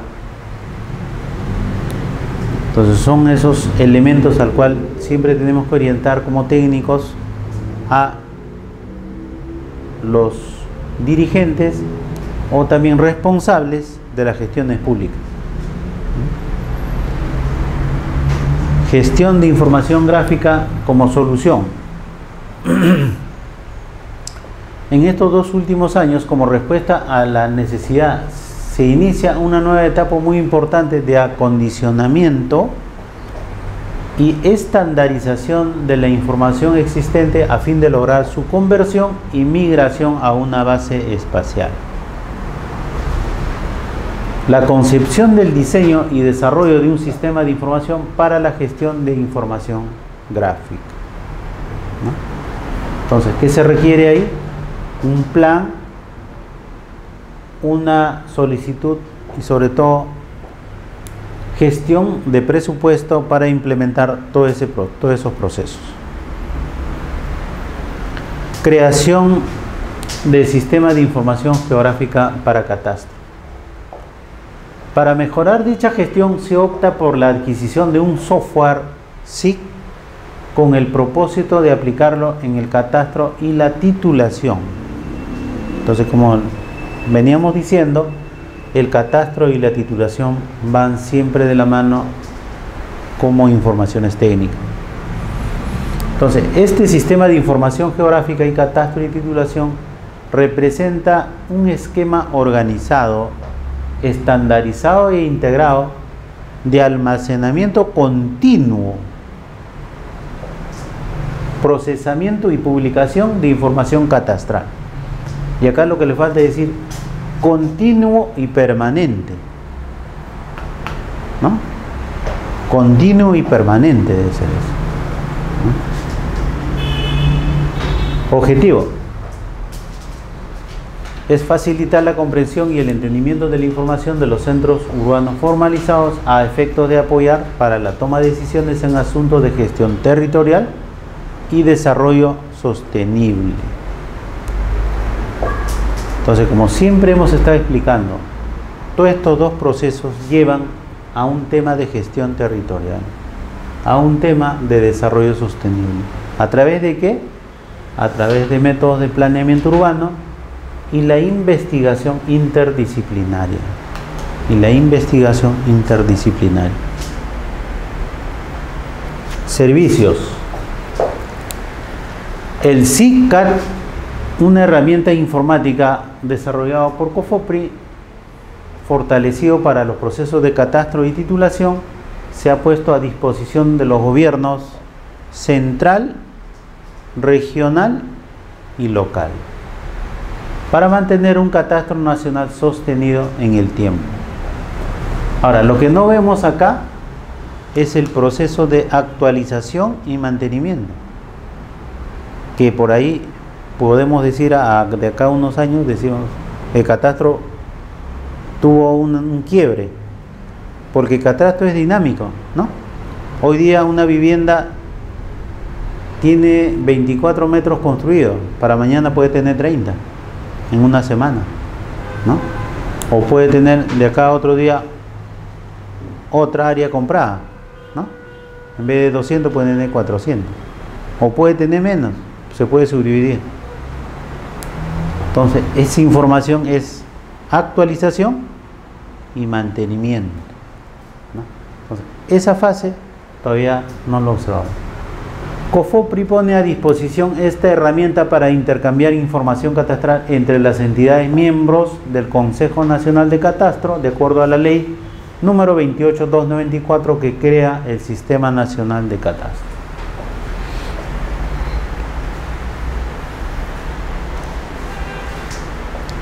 Características operativas.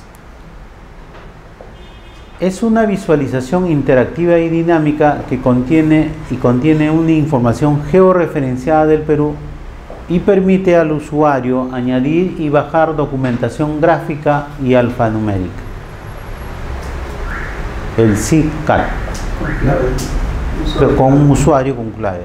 Se puede solicitar y se puede dar acceso. Aplicaciones. El CICAT, su aplicación y como herramienta de gestión de información se encuentra para el gobierno central, regional y local, para empresas estatales y privadas, comunidad universitaria, integra información interinstitucional y promueve el trabajo coordinado en equipo a nivel interinstitucional.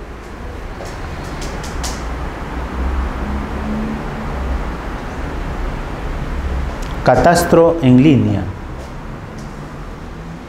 Esta información venía siendo trabajada hasta el año 2011-2012 bajo un sistema de catastro virtual con una opción en catastro en línea. Ah, hay que verificarlo si continúa en vigencia. Nuevamente esa información como, como pueden observar, esa información era observada en catastro en línea. Ven, desde un mapa, su ubicación y luego ingresan al, a lo particular, de lo general a lo particular. Entonces se lograba detallar incluso la identificación de los lotes, la información qué información contenía ese lote y qué, qué usos se podía determinar en cada uno de los lotes, ¿no? Para el tema de cacao.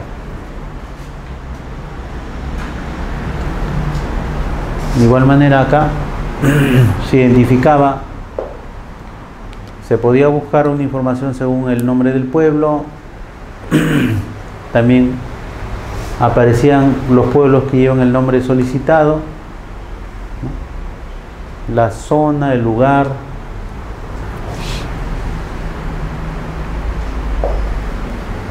y luego se ingresaba al área de interés, la escala en que se veían los lotes de 2500 a menos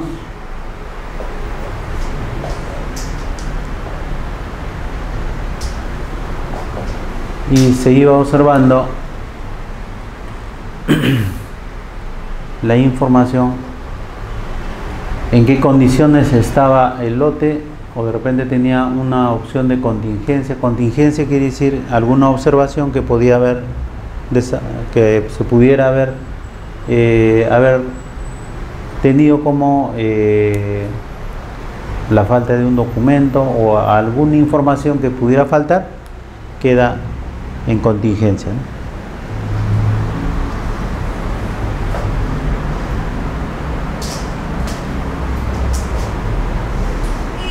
Por ejemplo, una contingencia, falta de documentos o datos, ¿no? Parte de una contingencia. Y ahí nos da la visualización de un lote con un problema interno administrativo que pueda tener el lote.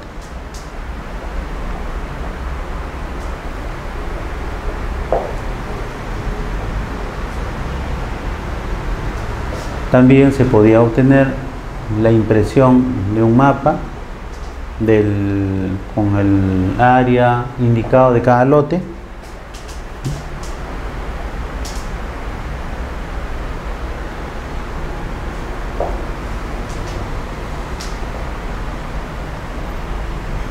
Se podía lograr tener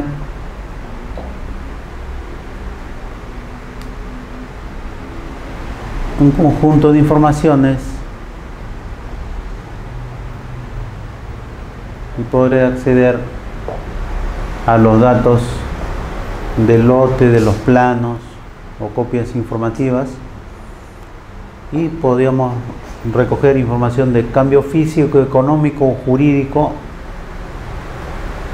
¿no? para ser aprobado en la municipalidad o registro de predios, notario y SUNAT de dichos cambios para efectuar la, emisión de un documento oficial. Y luego para obtener el certificado catastral o de un plano catastral de modificación.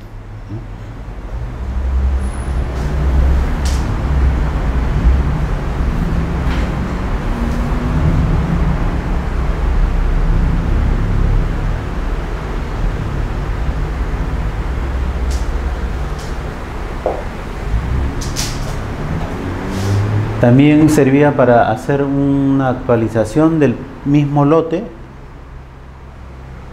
en línea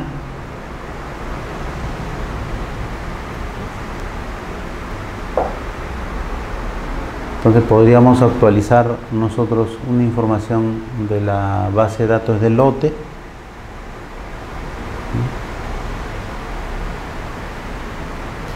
Una migración al catastro.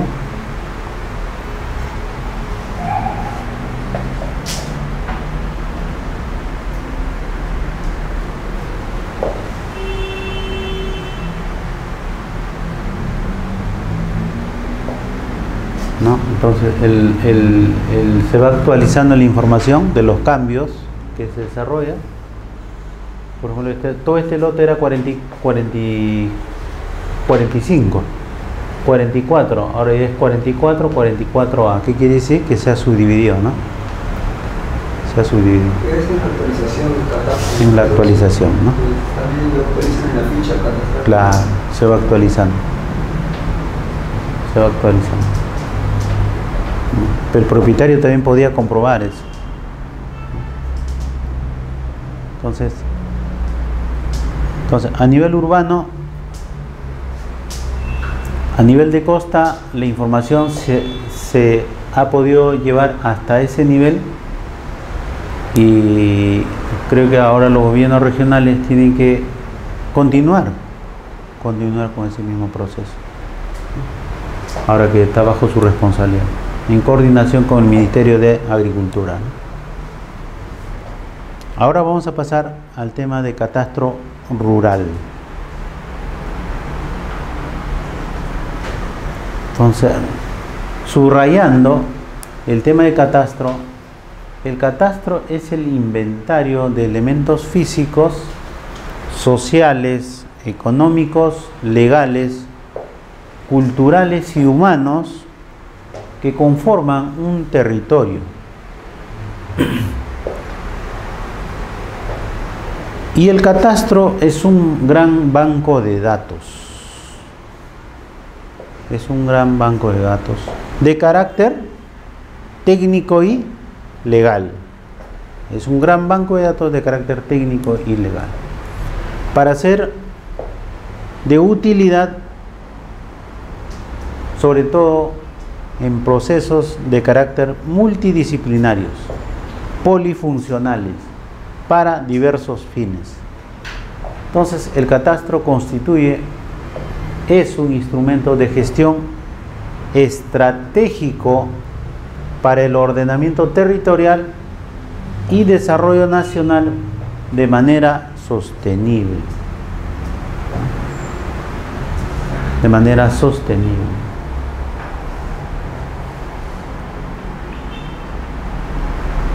Las tecnologías disponibles para el tema de catastro rural.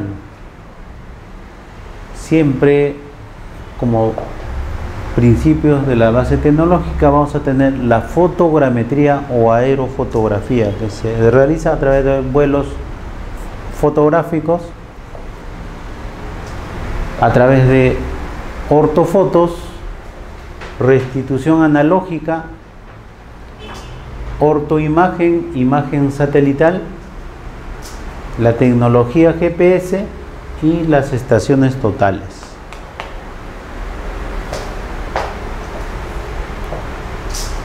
Entonces, para el catastro, en el Perú se está empleando todo este conjunto de procesos. Pero en este conjunto de procesos tenemos dos métodos, ¿no? Método indirecto y método directo. El método directo ese con el GPS y la estación total. Método indirecto a través de la fotogrametría y la ortoimagen y imágenes satelitales. Hasta la fecha, la aplicación en el Perú ha sido de estos dos. Por un tema de eficiencia y de recursos económicos.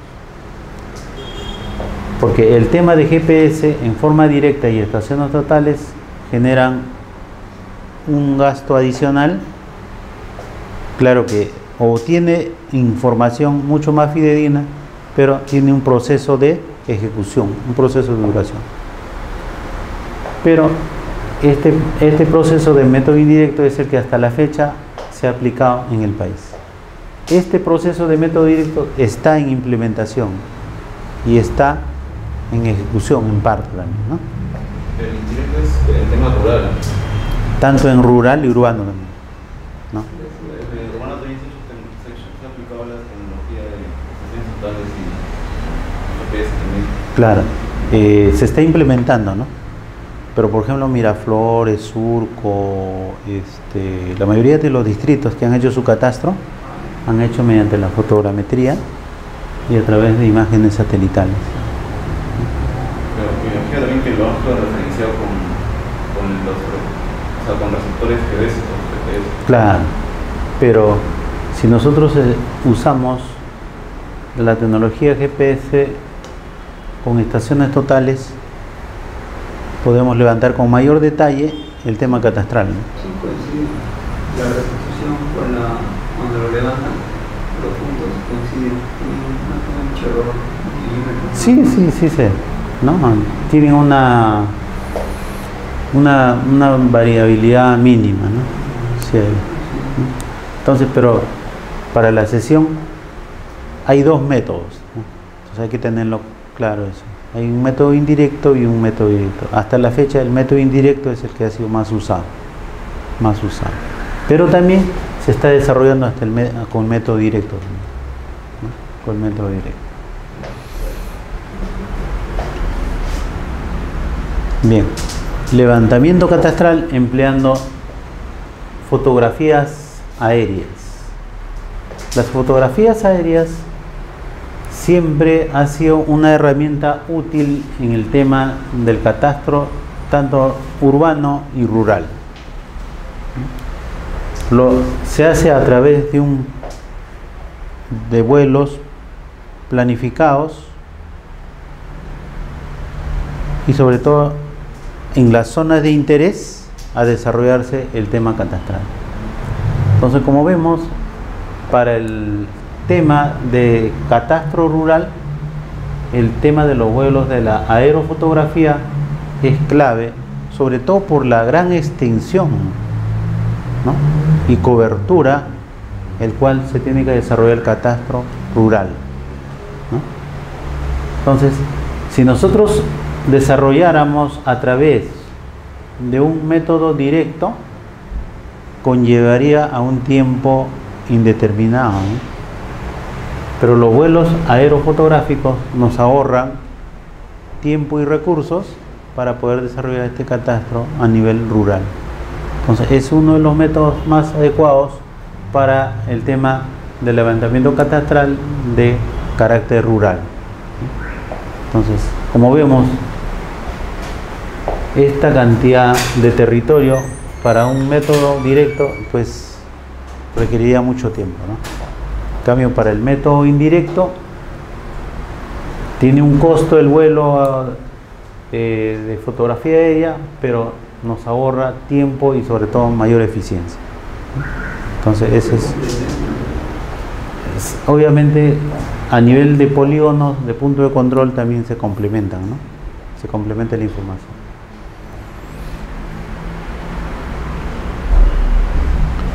La generación del catastro en la zona rural es en forma directa con los GPS ¿no? submétricos de linderación en los polígonos que tenga el, las parcelas. Procesamiento fotogramétrico para zona rural.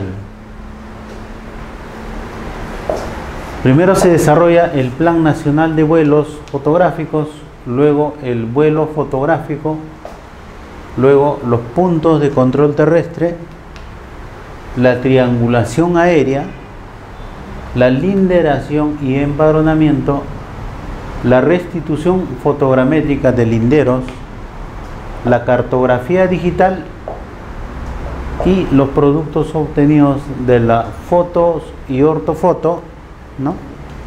y el desarrollo de los mapas catastrales.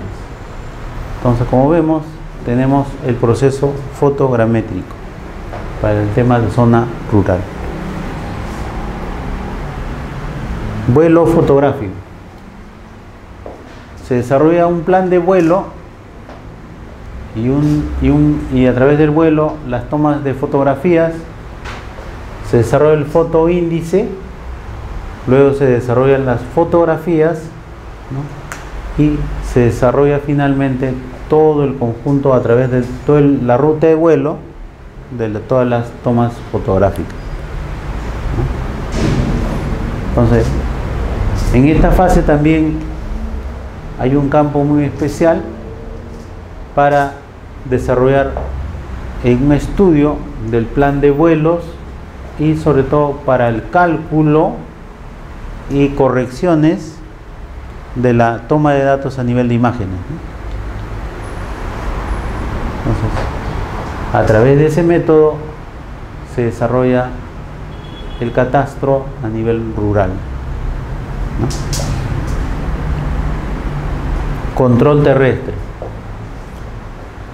Los puntos de control pueden ser ubicados sobre todo de los de orden A en puntos estratégicos y luego para tomar los puntos de control para las parcelas se desarrolla a través de GPS submétricos o GPS que se estacionan y toman los datos de las coordenadas en cada perímetro o lindero de las parcelas o propiedades y se determinan los valores geodésicos de puntos terrestres en coordenadas geográficas y planas UTM mediante el uso de GPS utilizados para la elaboración de la cartografía en general.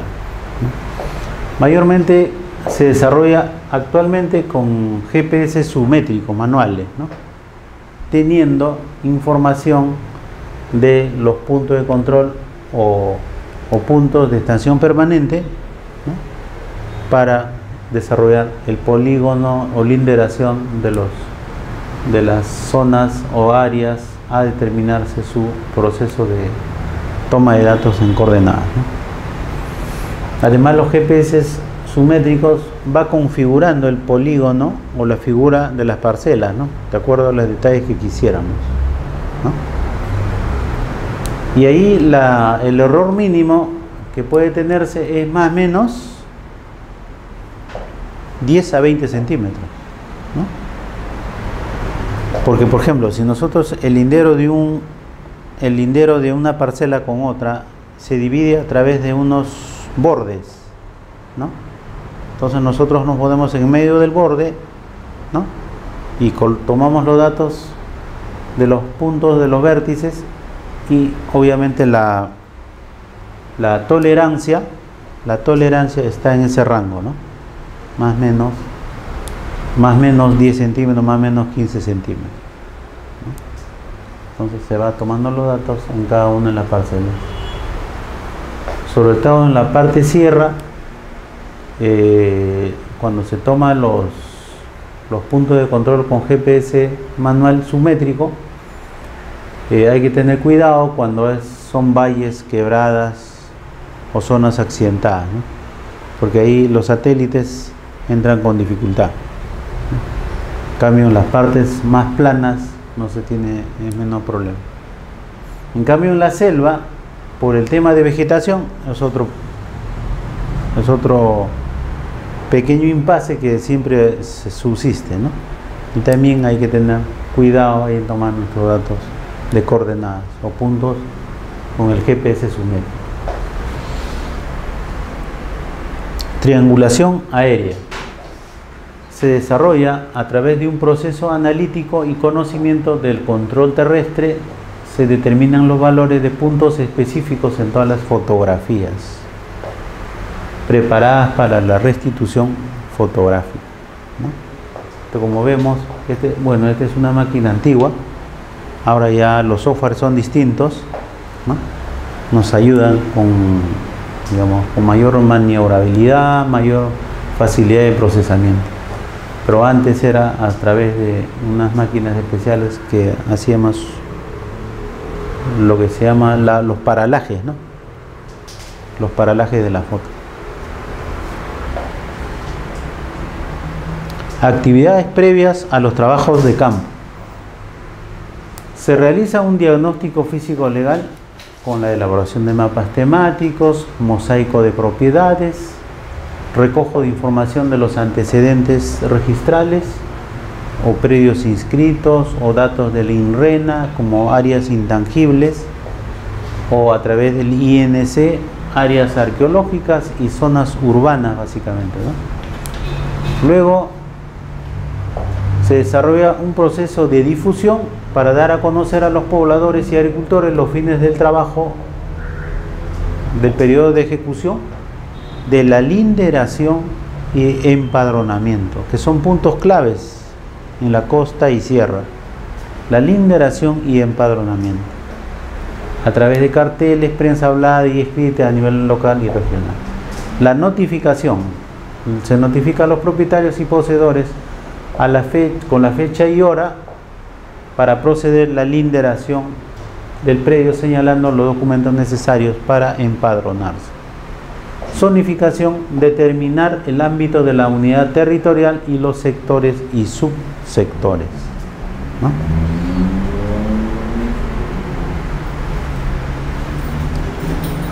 También podemos utilizar los, el mosaico de propiedades inscritas un mapa temático de la situación actual del proceso de formalización de la propiedad rural. Entonces aquí siempre un mapa temático de propiedades inscritas nos va a facilitar a determinar en áreas rurales. Y es una información muy importante al cual debemos tener ese, ese manejo de información.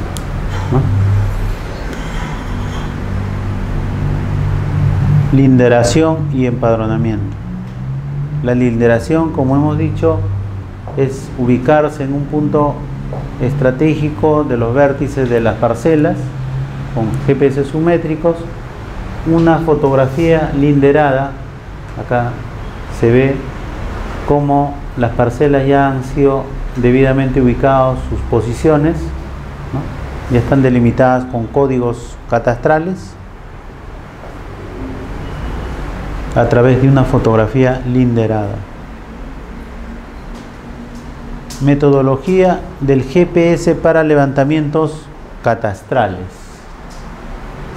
Primero se desarrolla un planeamiento, luego el establecimiento de la red de, GPS, tener una base cartográfica digital con una cartografía existente o carta nacional a escala 1 en 100.000.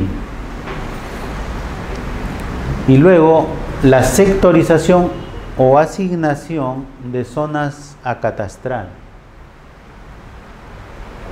Y luego vamos a, a un procesamiento de información de campo, a un postproceso y luego a un diseño de edición y vinculación sobre informaciones de linderación de predios la, con la información de GPS o topografía o fotografías aéreas o la libreta de campo con información levantada de campo y las mediciones con brújula o winch.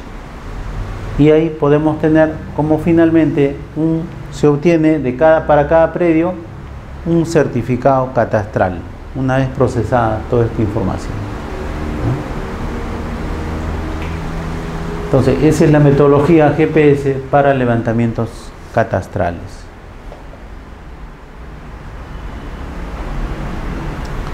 La técnica diferencial con el GPS es tener una estación base de estación permanente que tiene un procesamiento en las 24 horas del día y los otros puntos que podemos obtener a través de receptores GPS o rover para determinar los puntos de posición desconocidos y el cual se hallará y corregirá diferencialmente con la estación base. Con la estación base. Lo que sí hay que tener mucho cuidado en las zonas de sierra y selva siempre que tenga la mejor información posible. Probablemente mínimo dos horas hacia adelante, ¿no? Donde tenga la mejor información. La red de GPS de Cofopri que ha establecido a nivel de la costa, a nivel de la sierra, a nivel de la selva, Vemos las regiones donde ya fueron establecidos en la costa en Piura, La Libertad, Lima, Arequipa, en la Sierra Junín, Ayacucho, Cusco, en la selva Loreto, San Martín, Ucayali, Madre Dios, y la red de cobertura nacional, 11 estaciones bases de precisión geodésica con un radio de 200 kilómetros, con rover de, rover de precisión sumétricos y múltiples aplicaciones. Entonces, esa es la red GPS que ha desarrollado COFOPRI y PET, PET COFOPRI, y ahora los gobiernos regionales tienen que continuar densificando de acuerdo a su realidad también. Total, tiene 11 estaciones de laboratorio permanente COFOPRI. Así es. Adicionalmente tiene el IGN, claro.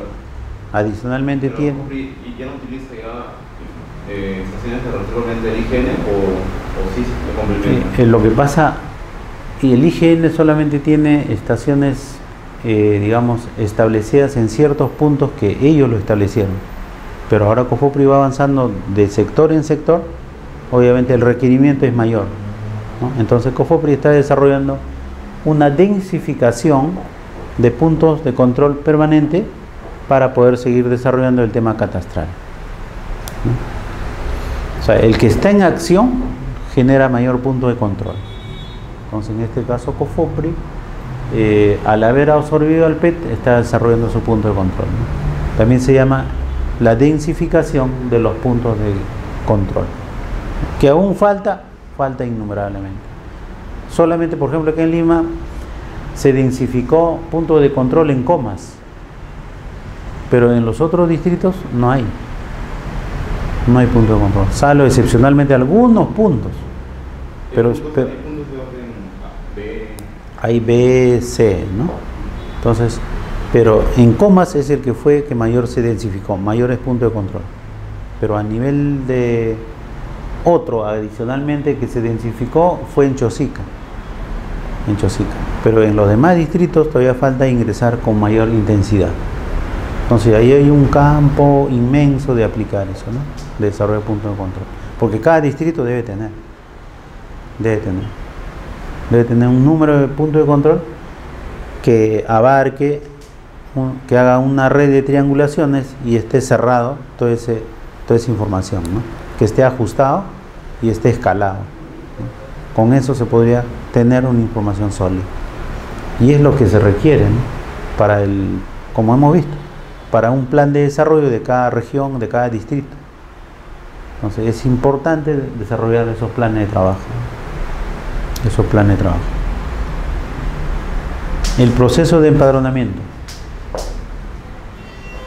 se desarrolla a través de una ficha catastral con los datos de los propietarios, la medida de los lotes, de las parcelas o de la ubicación geográfica de cada uno de los, de los lugares donde se está desarrollando la ficha catastral y eh, viene a ser un complemento para el tema de linderación de predios.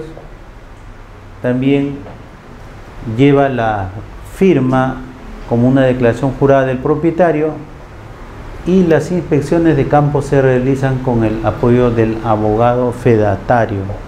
Ahora, hoy por hoy, los, abogados han obtenido también el, grado o la, oportunidad de ser eh, verificadores catastrales. Entonces, tanto como el ingeniero autorizado y el abogado también puede ser verificado catastral. ¿No? Está reconocido por la SUNAT. También, con la aprobación del reglamento del decreto legislativo 1089 se deberá implementar el nuevo formato de la ficha catastral rural, aprobado por el Sistema Nacional de Catastro. Entonces también es otro proceso que se viene implementando, es un conjunto de procesos que se viene implementando. Condiciones básicas para una buena linderación y empadronamiento. Asistir en la hora y fecha señalada. Recorrer el predio con el propietario o poseedor o representantes. Eso es muy importante, ¿no? Porque son ellos los que van a firmar. Consignar al interior de la foto o el plano del predio levantado. La unidad catastral en forma correlativa, según el sector de trabajo asignado. En caso de fotografías, no linderar al extremo de la foto. Precisar los caminos, carreteras, canales y otro de uso público existente en la zona para consignar la toponimia. La toponimia no más que es indicar los datos, las carreteras, los canales, las vías, los vértices, eh, digamos la, la, la, la forma, cómo está configurada el, el- la parcela, ¿no? Entonces ese viene a ser la topon- toponimia. Y también los accidentes naturales y artificiales más importantes. Cada predio linderado debe tener una ficha catastral con la misma unidad catastral que le corresponde en la foto y o plano levantado. Así sea un titular no habido.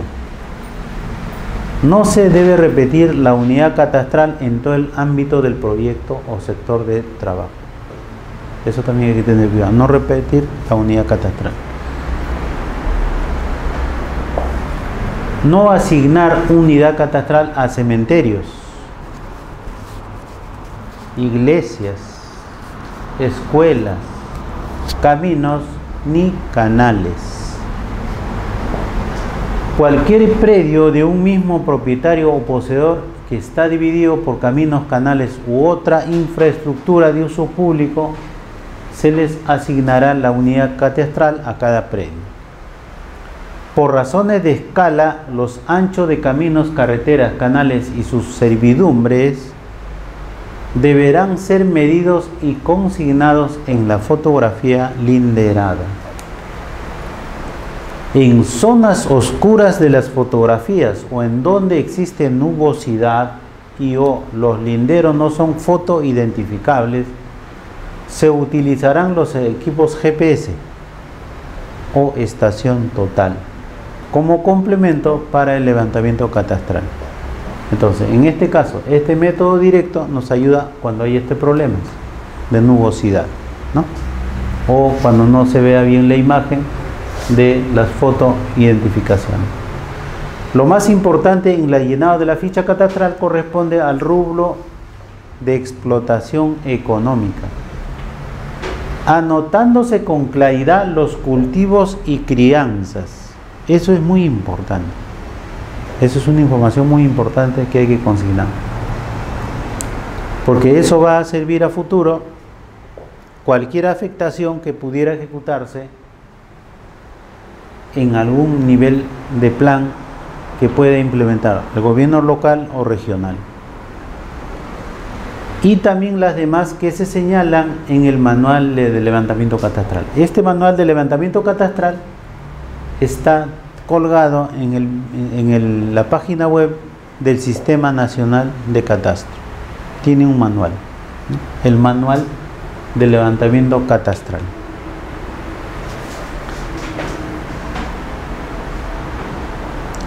Restitución fotogramétrica.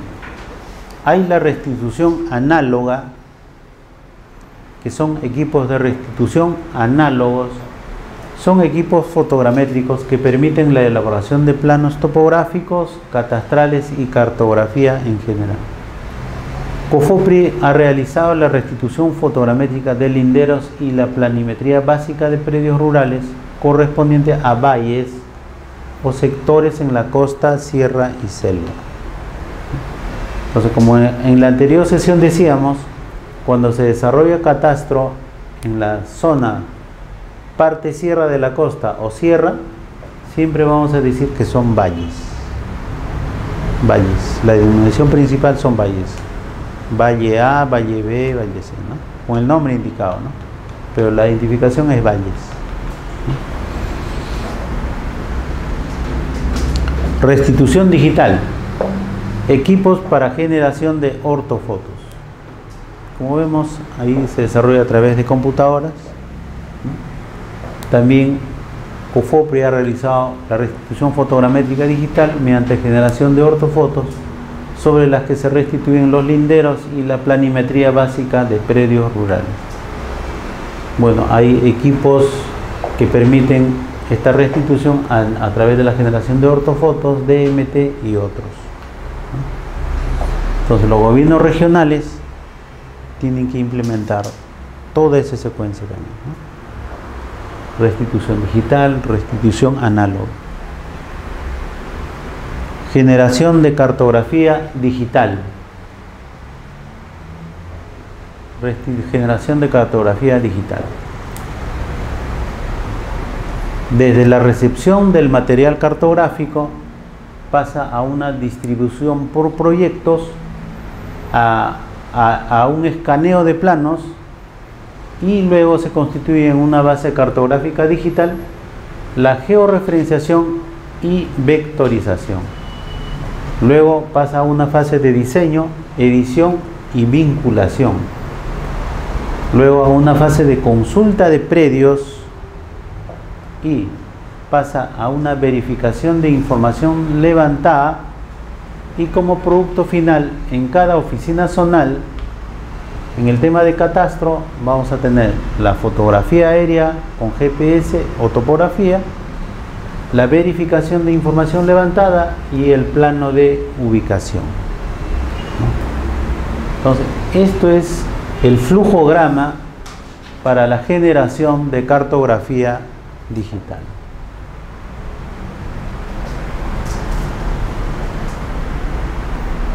Control de calidad.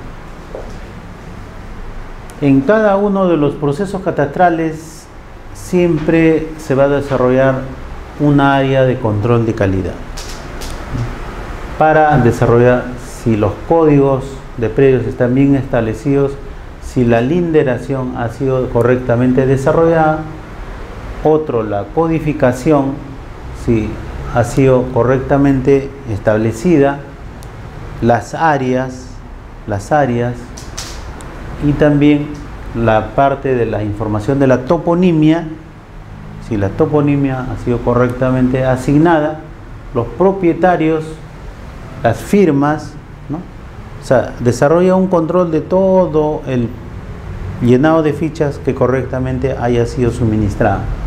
Si hubiera alguna observación, se retorna nuevamente para poder ser completada. Productos generados. Los productos generados terminamos en catastro digital, con un plano asignando los códigos catastrales a cada propiedad, la ortofotos y la ortofoto más el catastro. O sea, superpuesto este plano catastro digital sobre el ortofoto. Y obtenemos el ortofoto más el catastro. Cartografía digital en ortofotos. Cofopri ha elaborado ortofotos a escalas de 1 a 5000 y 1 en 10.000 de algunos valles de costa y sierra. De algunos valles de costa y sierra.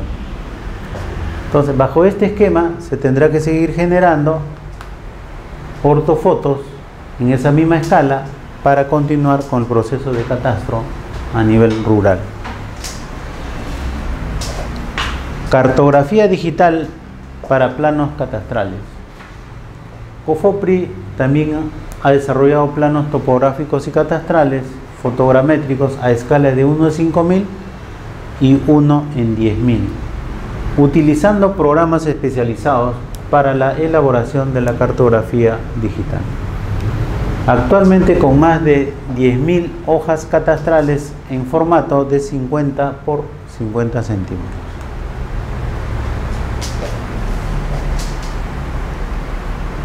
Certificado de información catastral.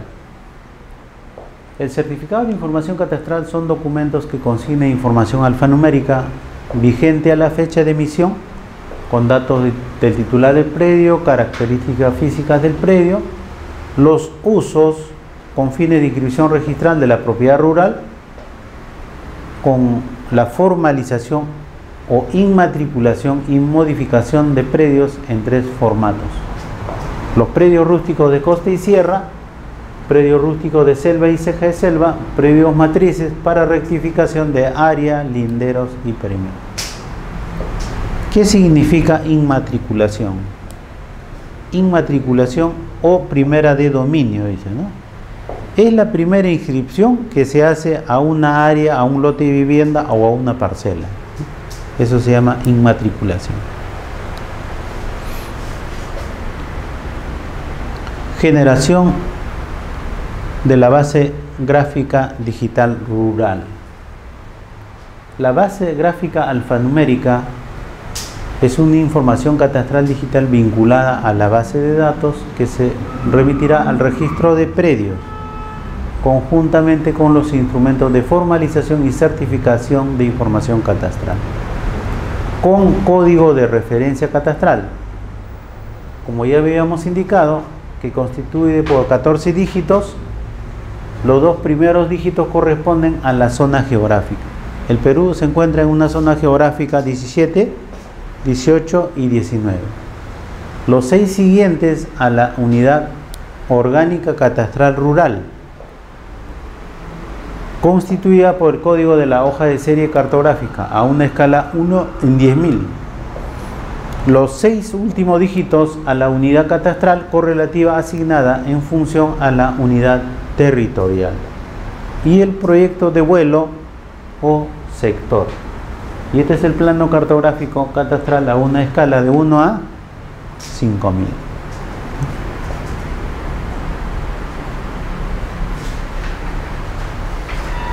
Información cartográfica y catastral rural anterior. Es una información cartográfica y catastral del antiguo catastro al año 1985. Región geográfica, costa, sierra y selva. En la costa, en una escala 1 en 10.000 a 1 a 5.000. En un área de 2.590.070. Número de hojas, 3.100. Número de unidades catastrales, 246.119. Número de propietarios, 90.825.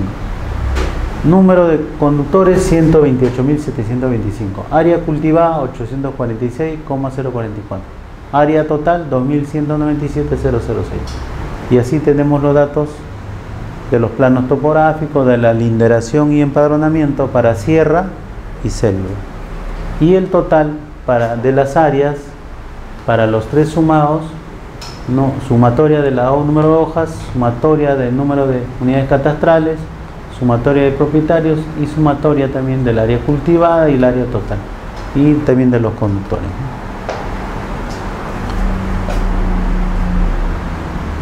En cifras, en la costa de 0 a 2.000 metros sobre el nivel, la cantidad de predios es de 563.000, inscritos 328.178 con un porcentaje de 58%.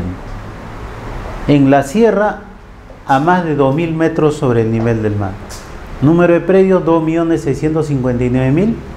Inscritos 1.409.586 con un porcentaje de 53%. Y en la selva menor de 1.500 metros sobre el nivel del mar, número de predios 573.000. Inscritos 227.932 y porcentaje 40%. Y a nivel nacional podemos tomar 128.521.560 hectáreas. En la costa, una área de 15.087.282 hectáreas, un porcentaje de 12%. Cultivo 700.000. Y en la sierra tiene un área de 35.906.248 hectáreas un porcentaje de 28%, un área de cultivo de 1.200.000. Y en la selva tiene un área de 77.528.000 con 30 hectáreas, equivalente a 60%. Un área cultivable de 600.000.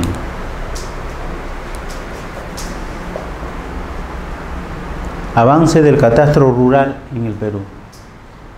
Levantamiento catastral de predios individuales a septiembre del año 2008. Predios individuales. En el periodo de 1970 a 1995, predios con levantamiento catastral ejecutado 800.000. Predios titulados, inscritos, ejecutados 269.388. Del año 1970 a 1995. Y así podemos tener del año 1996 al 2001 y también del año 2002 al 2008, en el que eh, el PET fue absorbido por COFOPRI y trabajado hasta, hasta el 2014 y a partir del 2014 ya en un proceso de transferencia a los gobiernos regionales.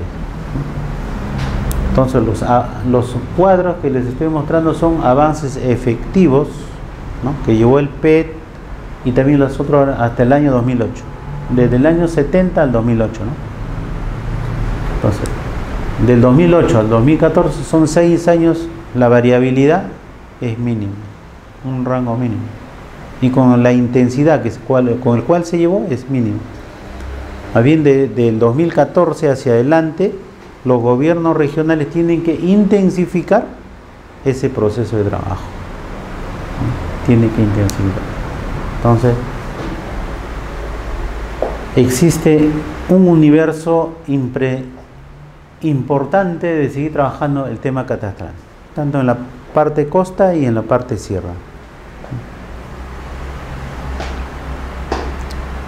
Decreto legislativo 1089 en el levantamiento catastral de predios rústicos.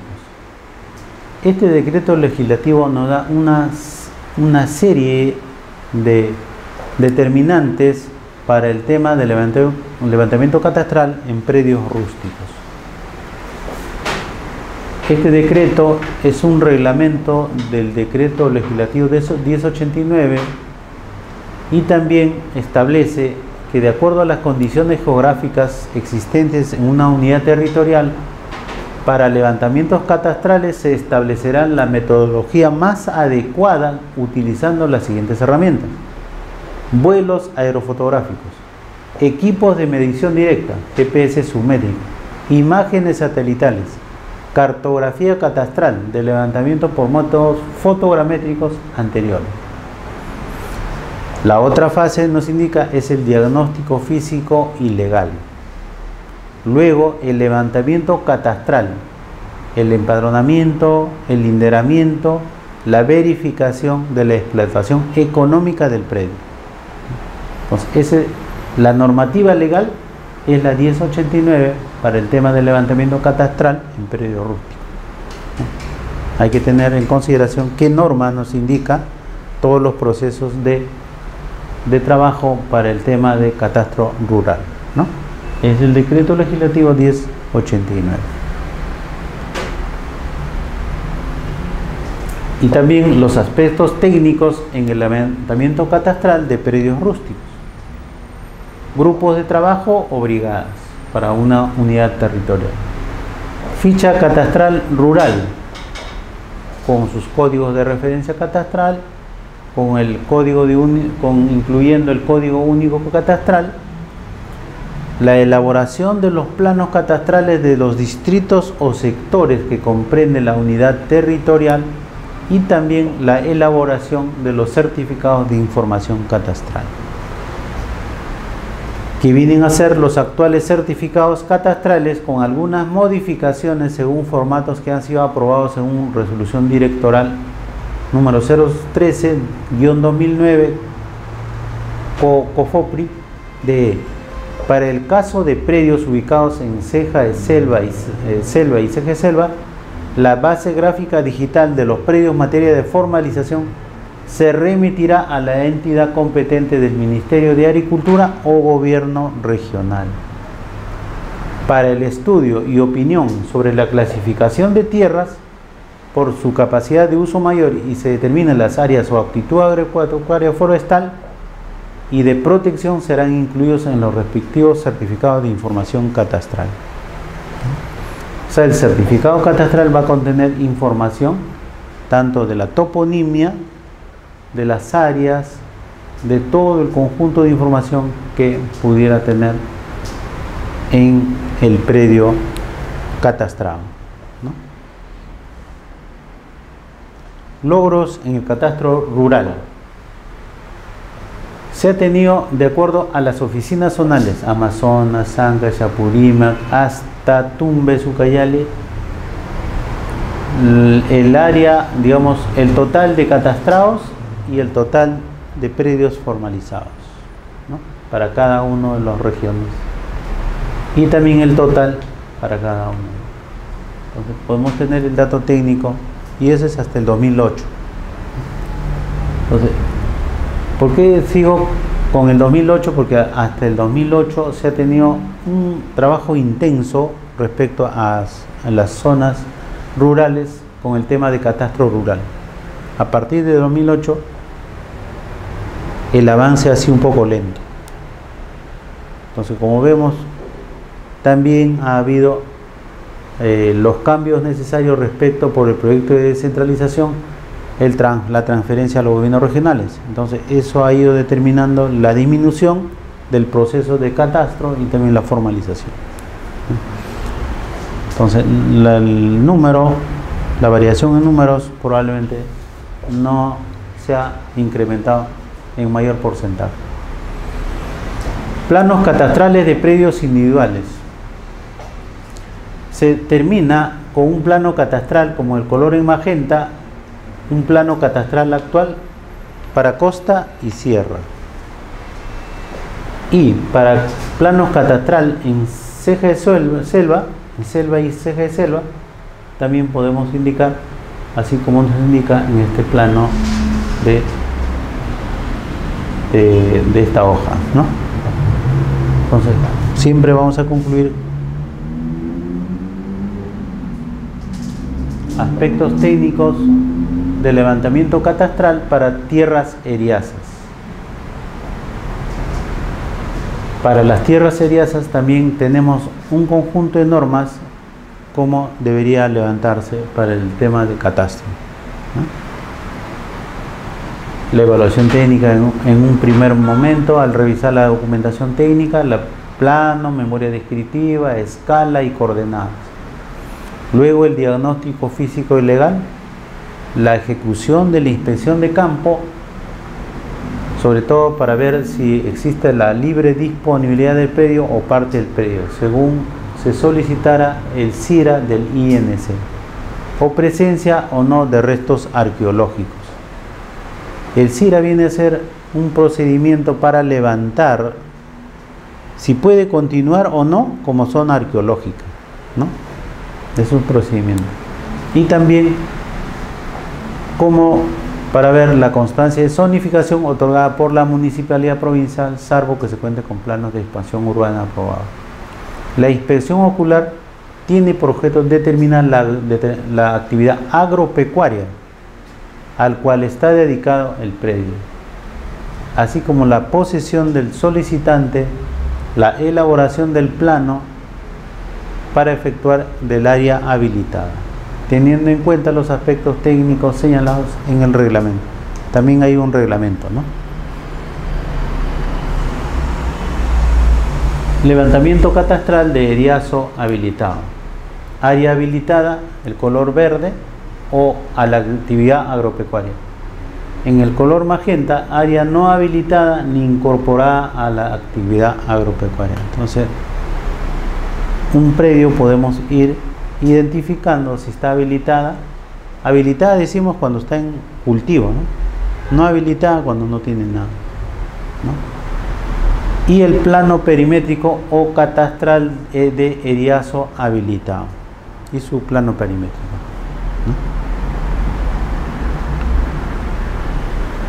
Levantamiento de planos en selva, sobre todo en el BRAE en el Planos catastrales de 9.000 predios levantados con GPS con la clasificación de tierras por capacidad de uso mayor. Esto lo vamos a ver en la siguiente sesión, mucho más completo, porque en la siguiente nos toca el levantamiento catastral en zonas de selva, ceja de selva o selva. Catastro rural multiutilitario. La información cartográfica, topográfica y catastral sirve para diferentes actividades. Estadísticas, temas de planificación, censos nacionales agropecuarios, proyecto de ingeniería, caminos, carreteras, represas, canales de irrigación, líneas de alta tensión eléctrica, planos de ubicación para telefonía, etcétera, etcétera. Y ahí está, tenemos toda la leyenda de acuerdo al mapa y de acuerdo al levantamiento del catastro hasta la fecha. ¿no? Obviamente acá falta un sinnúmero de informaciones todavía. Lo que pasa, eso es para la fecha. Si actualizamos y hacemos el mantenimiento, cambiaremos la información. Características del catastro rural. Las normas y metodologías para la elaboración y mantenimiento del catastro rural son de aplicación nacional. la codificación catastral de predios individuales, tierras eriazas y comunidades igualmente guardan conformidad de acuerdo a directivas de aplicación nacional. Código de referencia catastral es único y irrepetible a nivel nacional. O sea, un código de la costa no puede eh, duplicarse en la sierra o uno de la selva no puede tener un código en la sierra, ¿no? es irrepetible. se, ha desarrollado y se desarrolla en forma desconcentrada a través de las 27 oficinas zonales. Son 24 regiones, pero alguna región tiene adicionalmente uno. Callao es otra región. y así. Ha generado su propia cartografía catastral desde hace más de 35 años. Sirvió y sirve de sustento técnico a la reforma agraria y al EXPET y actualmente a COFOPRI en la formalización y titulación de predios rurales que se denomina catastro jurídico, así como apoya catastral a todos los sectores de las entidades públicas y privadas. Muchas gracias jóvenes, espero que esta información sirva para que puedan dar una lectura a todo lo que hemos expuesto y adicionalmente en cada uno de los capítulos puedan ir profundizando mucho más sistemáticamente y sobre todo con información que a la fecha podríamos obtener, con información real, estadística y pueda ir para mejora de cada uno de ustedes y sobre todo para que ustedes sean los futuros técnicos en estos procesos de catástrofe. Muchas gracias, Juan.